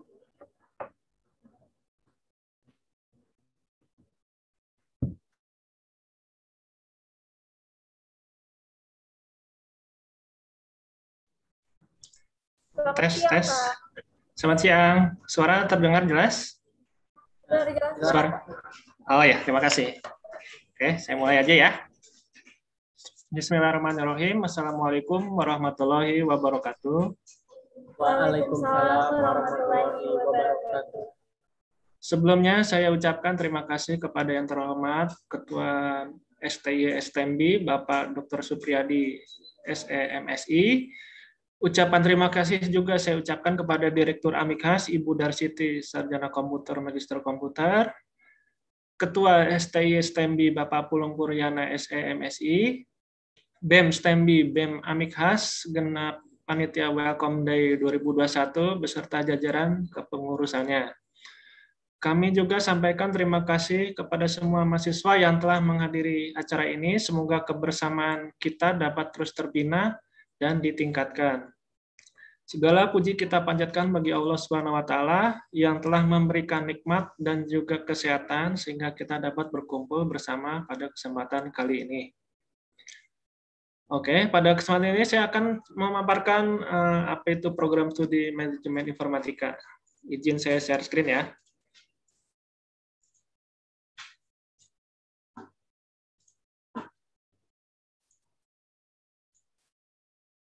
Oke, kita langsung aja ya pengenalan program studi D3 Manajemen Informatika. Oke, saya sebagai ketua program studi D3 Manajemen Informatika ya. Eh, Untuk kontaknya nanti bisa eh, di layar apabila ada yang ingin ditanyakan atau melalui email juga boleh eh, nanti dapat ditanyakan kepada saya. Selanjutnya di ada sekretaris jurusan program studi D3 Manajemen Informatika yaitu eh, Ibu Regina Noviasi Sarjana Teknik. Emailnya ada dan HP-nya, WA-nya juga ada. Nanti bisa menghubungi beliau apabila ada kendala-kendala masalah uh, uh, kekuliahan ya, kuliahan atau bisa menghubungi saya juga. Oke. Okay. Program studi D3, uh, Diploma 3 ya, D3 Manajemen Informatika uh, nanti akan menyelesaikan masa studi selama tiga tahun atau enam semester. Akreditasi prodi C ya, uh, masih terakreditasi. Oke. Okay. Apa itu informatika? Informatika adalah kumpulan disiplin sains ya, rekayasa yang secara khusus menangani masalah transformasi ya, transformasi atau pengolahan fakta berlambang, data atau informasi dengan menggunakan fasilitas mesin otomatika atau yang bisa kenal komputer. Ciri yang paling dominan dari informatika adalah logika ya dan sistematika. Nah ini jadi nanti rekan-rekan teman-teman ya eh, yang mengambil jurusan manajemen informatika kalau bisa diperkuat itu logikanya ya karena setiap eh, pemrograman itu pasti menggunakan logika dan sistematika. Jadi ya, jadi eh, kita basicnya itu logika dan sistematika. Nanti kalau kita kuat di situ, eh, nanti mau pemrograman apa aja kita pasti gampang, mudah mudah menggunakannya gitu ya. Terus output tingkat tertinggi yaitu mesin yang mampu melakukan semua yang dapat dilakukan oleh manusia. Nah ini istilahnya artificial intelligence ya, itu mesin yang bisa di yang mendekati kemampuan manusia. Nah, itu eh, bagaimana kita merancangnya? Nah, itu nanti bisa ada mata kuliahnya namanya artificial intelligence. Nah, apa yang dipelajari di di informatika yaitu pada intinya mat, kuliah di manajemen informatika adalah mendalami pembangunan perangkat lunak yaitu software developing untuk aplikasi. Bukan mempelajari cara membuat komputer ya. Ini teknik komputer, cara membuat komputer itu teknik komputer, bukan informatika. Terus bukan juga mempelajari cara menggunakan program atau bermain game ya. Jadi kita kuliah itu bukan main game ya, tapi kalau bisa membuat game nah gitu atau mem bisa membuat program aplikasi. Nah itu ya. Jadi beda ya. Kalau uh, mungkin kalau bidang lain cara menggunakan program. Kalau kita di manajemen informatika itu bagaimana cara membuat program. Nah, itu ya mungkin yang perlu dititik beratkan. Nah, jadi jangan uh, menggunakan program sudah jadi sudah jadi kita aplikasikan. Nah, itu itu bukan informatika. Itu operator istilahnya ya. Nah, mengapa milih manajemen informatika? Yaitu kita nanti akan belajar mengembangkan software, nah, ini ya, membuat software, fitur-fiturnya dan aplikasinya. Nah, software itu bisa software segala bidang ya. Kita bisa membuat segala bidang segala data atau informasi di segala bidang itu dijadikan software. Jadi nggak hanya eh, bidang keuangan, nggak hanya bidang manajemen. Nah, itu kita bisa membuat aplikasi di bidang-bidang lainnya. Jadi informatika itu sangat luas ya, tidak terbatas di keuangan, di kepegawaian atau di yang lain-lain gitu ya. Terus belajar untuk melakukan manajerial untuk tahap yang lebih tinggi yaitu kita mengelola aplikasi. Nah, itu namanya manajerial eh, aplikasi. Terus lapangan kerja yang luar biasa luas. Nah, ini ya. Pasti di mana-mana itu ada eh, bidang IT ya. Nah, di semua kantor semua semua bidang kantor itu pasti ada namanya bagian IT. Jadi semua eh, bagian eh, informatika itu atau IT ya nanti kalau istilahnya kalau udah lulus itu semua itu ada. Jadi lapangan lapangan pekerjaan informatika itu luas ya. Tinggal kita meningkatkan upgrade skill kita ya. Nah, jadi jangan puas saja apa yang nanti kita telah dapatkan di kuliah, kita uh, apalagi sekarang ini udah industri 4.0 ya.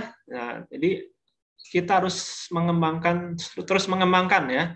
Jadi jangan aplikasi itu tiap tahun tuh pasti ada yang terbaru, ada yang baru, ada yang baru. Nah, kayak gitu. Jadi jangan sampai tertinggal itu mungkin titipan saya ya.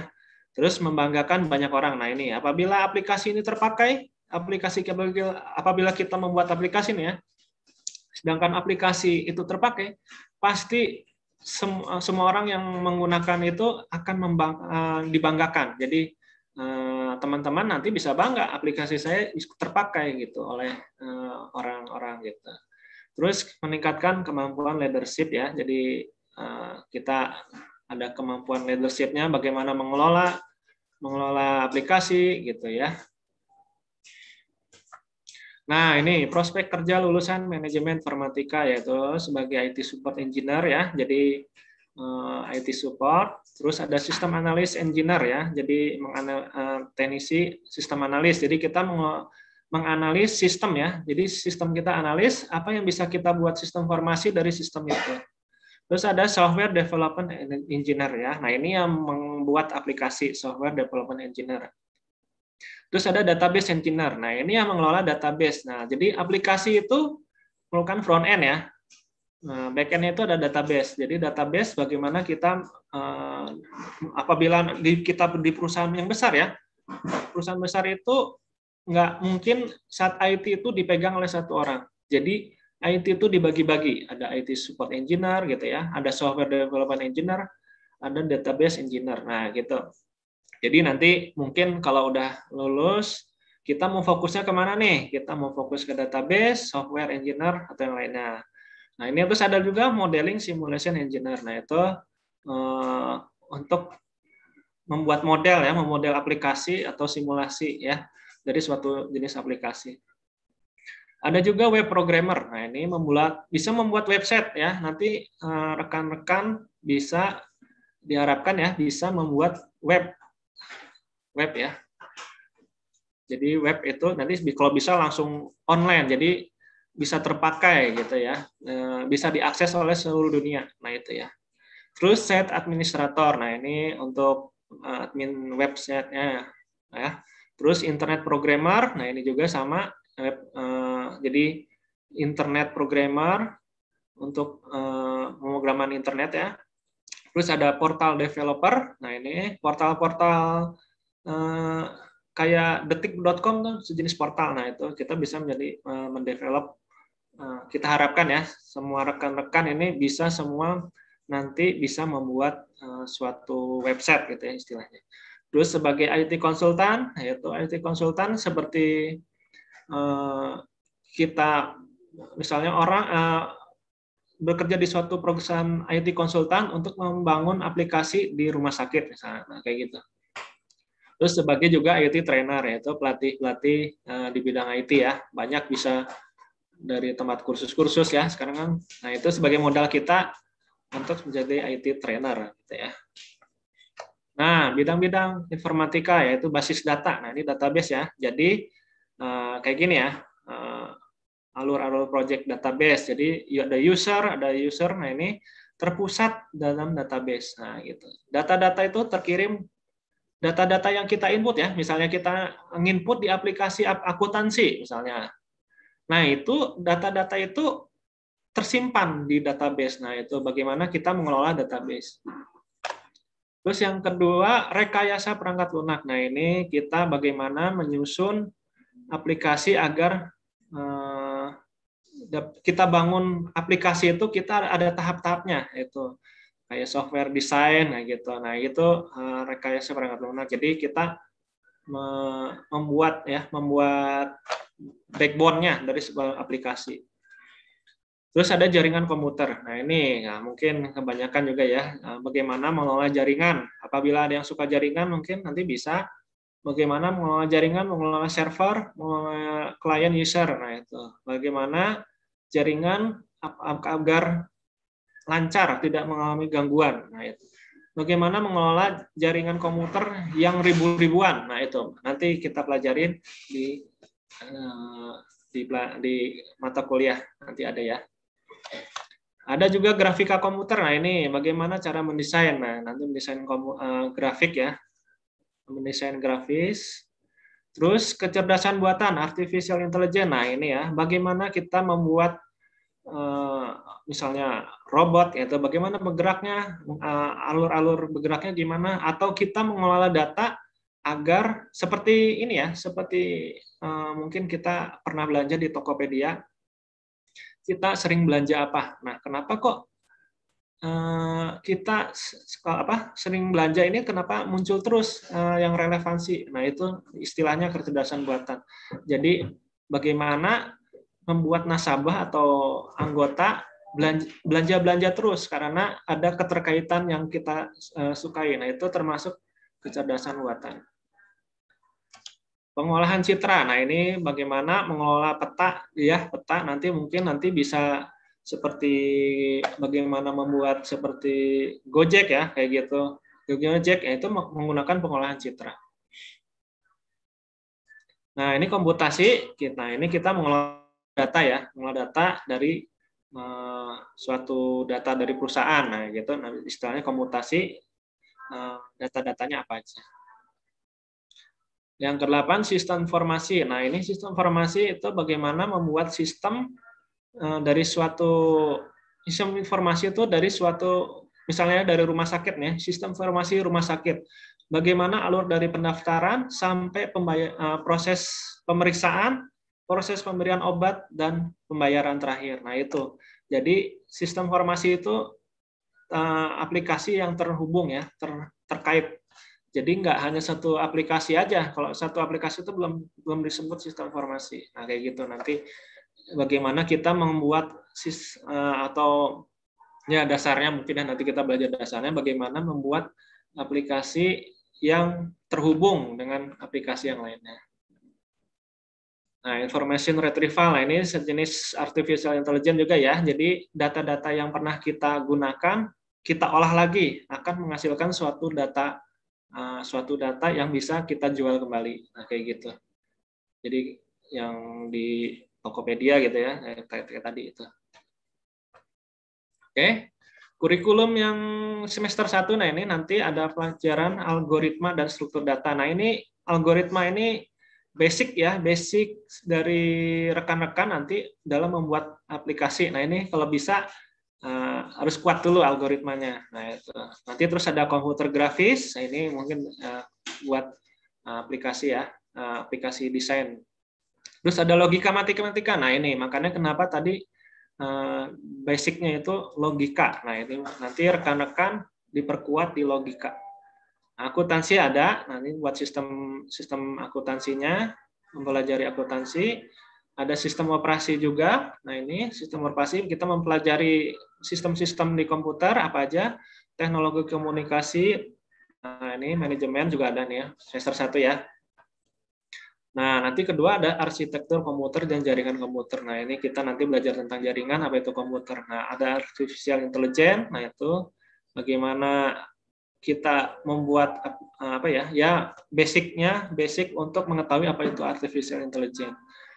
Dan berdasar pemrogram web nah ini bagaimana cara membangun aplikasi web. Rancangan data basis data nah ini database-nya bagaimana gitu. Rancangan sistem bagaimana membuat sistem. Oke, nanti yang kedua, yang semester 3, nah ini ada bisnis network, nah ini dasar-dasar multimedia, basis data, nah ini diperkuat lagi. Pemrograman visual, bagaimana kita membuat aplikasi desktop misalnya. Pemrograman web lanjut, nah ini untuk tingkatan eh, PHP misalnya, pembuatan aplikasi eh, berbasis PHP, framework, dan lain sebagainya. Nah, ada interaksi manusia dan komputer, nah itu bagaimana kita memahami eh, komputer dan manusia itu berinteraksi. Oke, selanjutnya, nah ini ada mobile programming. Nah ini bagaimana membuat aplikasi mobile programming nanti dipelajari. Nah, ada, nah ini ada nanti ada pilihan konsentrasi pemilihan ini ya mata kuliah pilihan. Ada e-commerce, ada multimedia periklanan, ada sistem informasi akuntansi, analisa laporan keuangan, sistem keamanan jaringan, jaringan komputer lanjut, komputer administrasi, manajemen kearsipan, ya. Nah ini nanti ada konsentrasi pilihannya. Terus analisis perancangan sistem informasi. Nah ini dan itu yang basic ya. Nah di di semester 5 nanti ada pemrograman Java. Nah ini bagaimana Java ini pemrograman ya, pemrograman Java. Pengelolaan sistem informasi data warehouse. Nah, ini data warehouse itu bagaimana kita mengelola data ya. Data itu yang ada di database kita olah lagi. Nah, gitu. Ada manajemen proyek dan rekayasa perangkat lunak. Nah, ini buat merancang nanti tugas buat tugas akhirnya juga kita harus membuat rekayasa uh, proses pembuatan aplikasi itu kayak gimana. Nah, itu harus kita lampirkan. Ada informasi manajemen. Nah, dan semester 6 langsung tugas akhir ya. Nah, ini contoh kegiatan pembelajaran di Amikas ya. Oke, ini ada sekilas video yang dibuat oleh alumni Amikas. Nah, ini dari alumni dipersembahkan untuk Amikas. Mari kita simak dulu ya.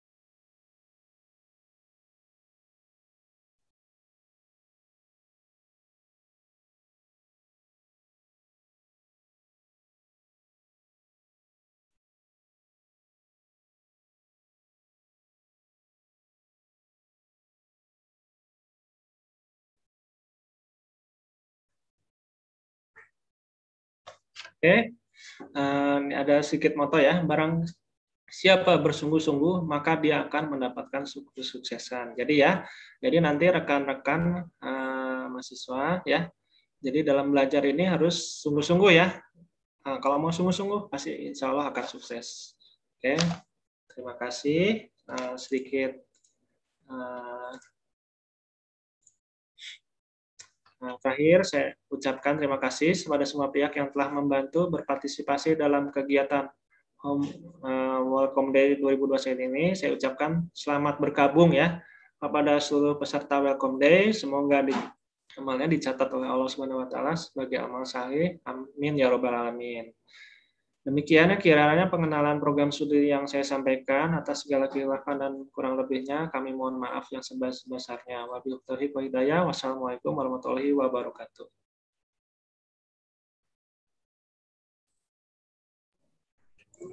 Waalaikumsalam warahmatullahi wabarakatuh. Mungkin ada pertanyaan? Ya. Kalau tadi materi dari Bapak Muhammad Adri Sanubekti, kita ucapkan terima kasih. Dan selanjutnya, pada sesi kali ini, saya membuka kesempatan bagi teman-teman yang ingin bertanya mengenai uh, pemaparan materi tadi. Silakan, bagi teman-teman yang ingin bertanya, klik tombol raise-nya terlebih dahulu, lalu silahkan di open mic-nya, dan sebutkan nama dan juga asal prodi. Kami persilahkan.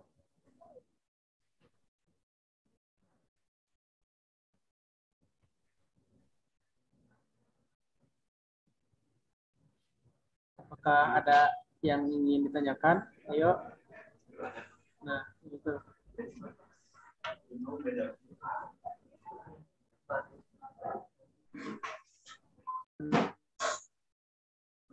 Ya, silakan. Muhammad Satriawan ya. Dari kamu Muhammad Satriawan lagi, silakan. Assalamualaikum warahmatullahi wabarakatuh. Waalaikumsalam warahmatullahi Perkenalkan, nama saya Satria. Saya dari Prodi Manajemen.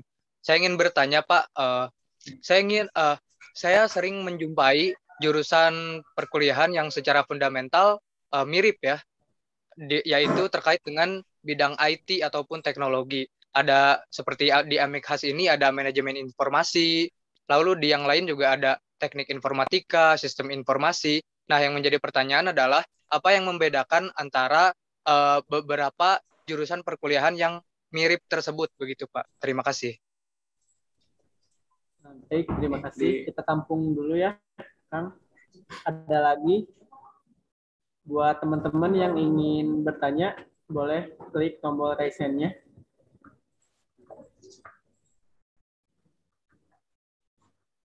Oh, nggak ada lagi. Baik. Nah, itu ada ada. Boleh dari Kak Bias Maulana, silakan.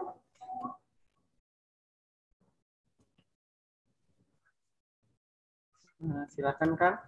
Kang Bias Maulana Ahmad.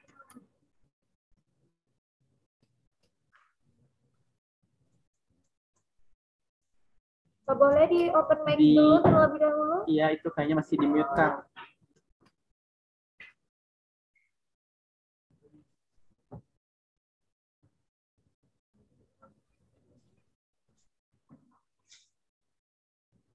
Halo, Kang. Boleh di open dulu itu mic-nya. Masih di Ahmad.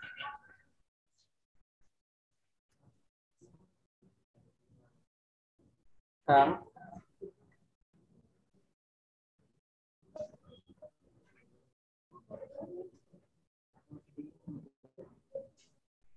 Eh, Maaf, itu masih di unmute. Boleh di open dulu.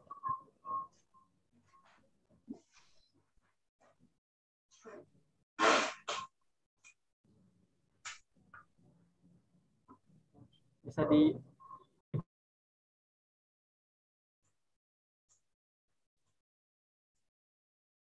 Baik,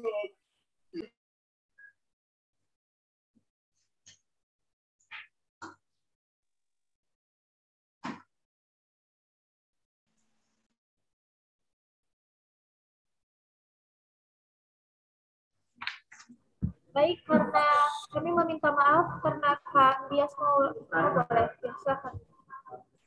Boleh kan silakan pertanyaannya?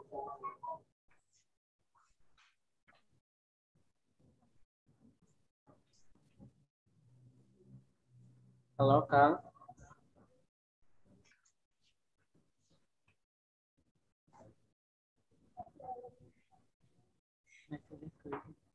Baik, kami meminta maaf karena sepertinya Kang Bias Maulana terkendala dengan sinyal, maka pertanyaannya kita alihkan ke Teh Lulu Aulia. Boleh dipersilakan?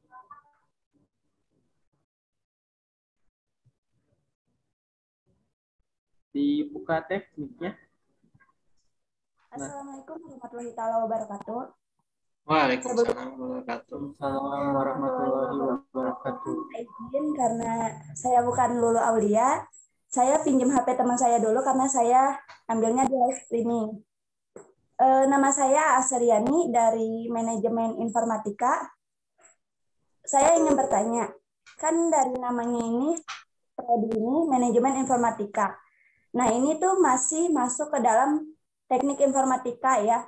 Nah berarti untuk jurus untuk peluang kerjanya itu bukankah lebih luas karena kita mempelajari bukan hanya tentang dari informatika saja.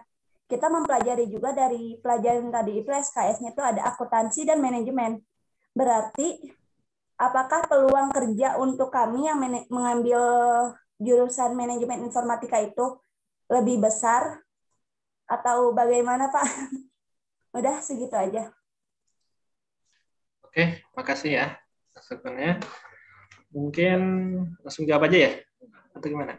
Karena waktu yang terbatas, maka sesi tanya jawab ini udah kita Oke. tutup. Oke. Ya, Pak. Boleh. Ya. Oke, makasih ya. Mungkin yang pertanyaan pertama, ya ini ya, bedanya manajemen informatika, teknik informatika, dan sistem informasi ya. Kalau manajemen informatika, ya itulah mungkin secara globalnya lebih fokus ke ini ya, ke pembuatan aplikasi yang umum ya, kayak uh, akuntansi, sistem informasi akuntansi, sistem informasi manajemen, nah gitu ya. Jadi lebih arahnya ke pembuatan aplikasi umum. Sedangkan kalau teknik informatika itu lebih ke teknik ya. Jadi teknik aplikasinya itu lebih mendalam lagi. Jadi mungkin cocoknya itu pendalaman dari eh, apa ya pendalaman dari aplikasi. Jadi nggak bukan aplikasi secara umum ya. Jadi ini aplikasi yang secara khusus kalau kalau teknik informatika arahnya. Sedangkan sistem informasi yaitu membuat pembuatan sistem eh, kita mempelajari sistem dari eh, sistem informasi ya. Walaupun nanti semuanya kita pelajari dipelajari itu Cuman kalau sistem informasi lebih fokusnya ke pembuatan aplikasi sistem informasi. Jadi yang yang umum ya, eh, apa yang terkoneksi. Kalau manajemen informatika mungkin kita fokusnya ke eh, kayak sistem informasi akuntansi kayak gitu ya. Jadi eh, yang berhubungan eh, dengan aplikasi secara umum. Yang kedua pertanyaannya, nah ini ya manajemen informatika ya dan ya kayak tadi ber, uh, terhubung ya uh, ber, berkaitan ya ini pertanyaannya yaitu manajemen informatika. Kita emang lebih luas lebih luas sebenarnya manajemen informatika yaitu karena kayak ini ya jadi aplik uh, jadi nggak hanya fokus di informatika saja kalau manajemen informatika. Kita bisa ke manajemennya. Jadi jadi manajemen suatu manajemen apakah bisa kita buat eh, suatu sistem informasi? Nah, kayak gitu.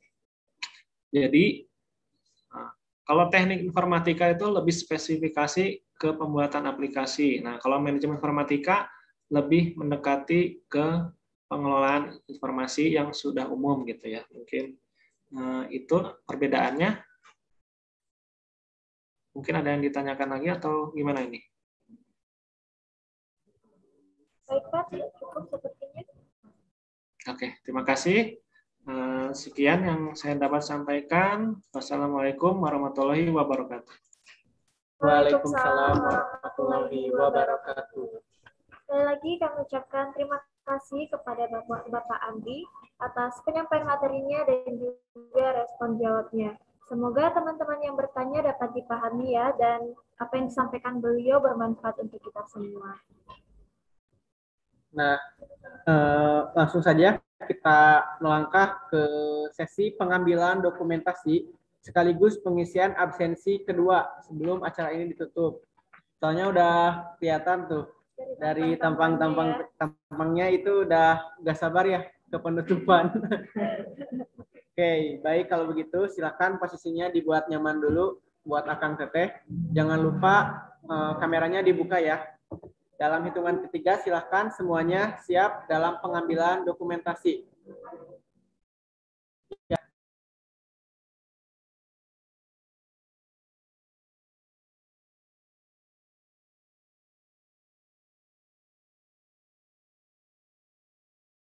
Kita akan di fotonya 30 kali itu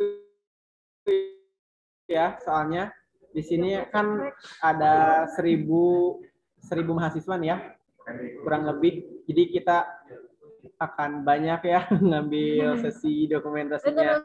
Stay cool aja. Stay cool aja ya buat aku teh. Siap. Satu dua tiga. Oke slide berikutnya. Satu dua tiga. Oke slide berikutnya satu, dua, tiga. Oke, yang keempat. Satu, dua, tiga. Oke, yang kelima. Satu, dua, tiga. Next. Yang keenam. Satu, dua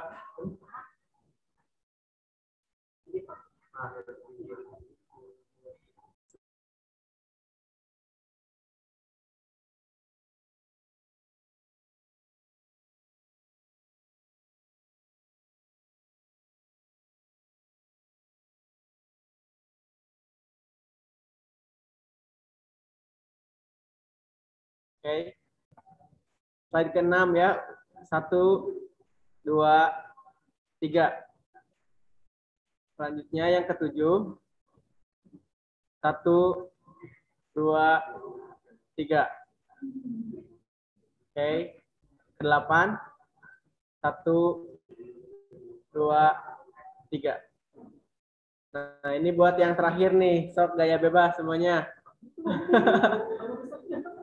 Emang ada berapa? 30. Wah. Kayaknya udah deh cukup 10. Oke, satu lagi ya ini terakhir aja. Satu, dua, tiga. Nah, oke. Buat teman-teman boleh dicek ya link absensinya untuk link absensi yang kedua sebelum kita masuk ke acara penutupan. Untuk yang menonton di YouTube, di streaming YouTube, mohon ditunggu sebentar ya. Nanti akan dikirim.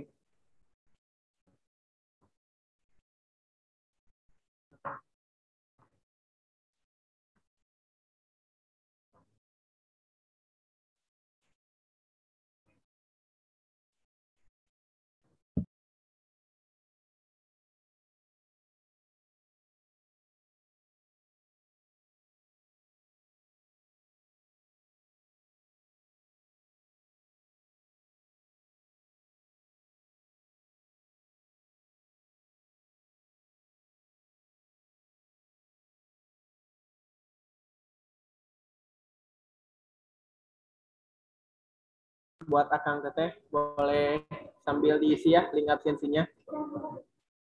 Udah ada di link eh udah ada di room chat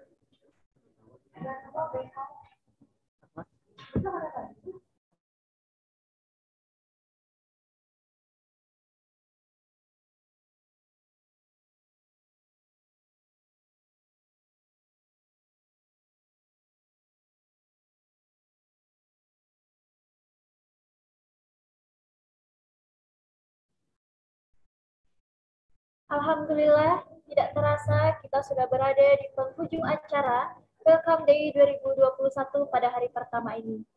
Kelancaran acara pada hari ini tentunya tidak terlepas atas karunia Allah Subhanahu wa taala, panitia yang sudah bekerja keras dan antusias dari teman-teman peserta Welcome Day 2021.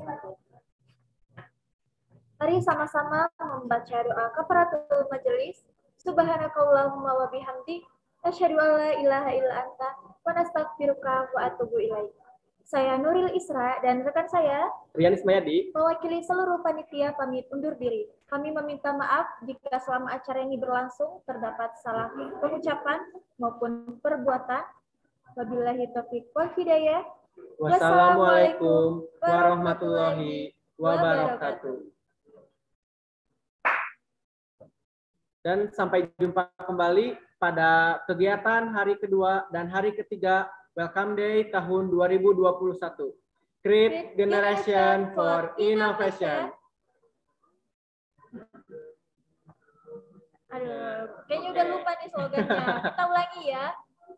Satu, dua, tiga. Create Generation for Innovation. Baik, terima kasih. Jangan lupa ya, besok ada kegiatan hari kedua. Jangan lupa bergabung kembali ya buat teman-teman. Terima kasih dan sampai jumpa. Tepuk tangan dulu untuk kita semua.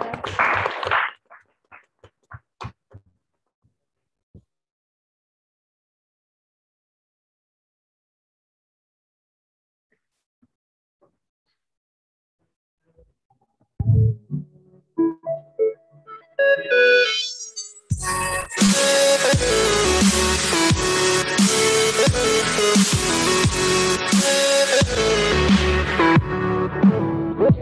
you.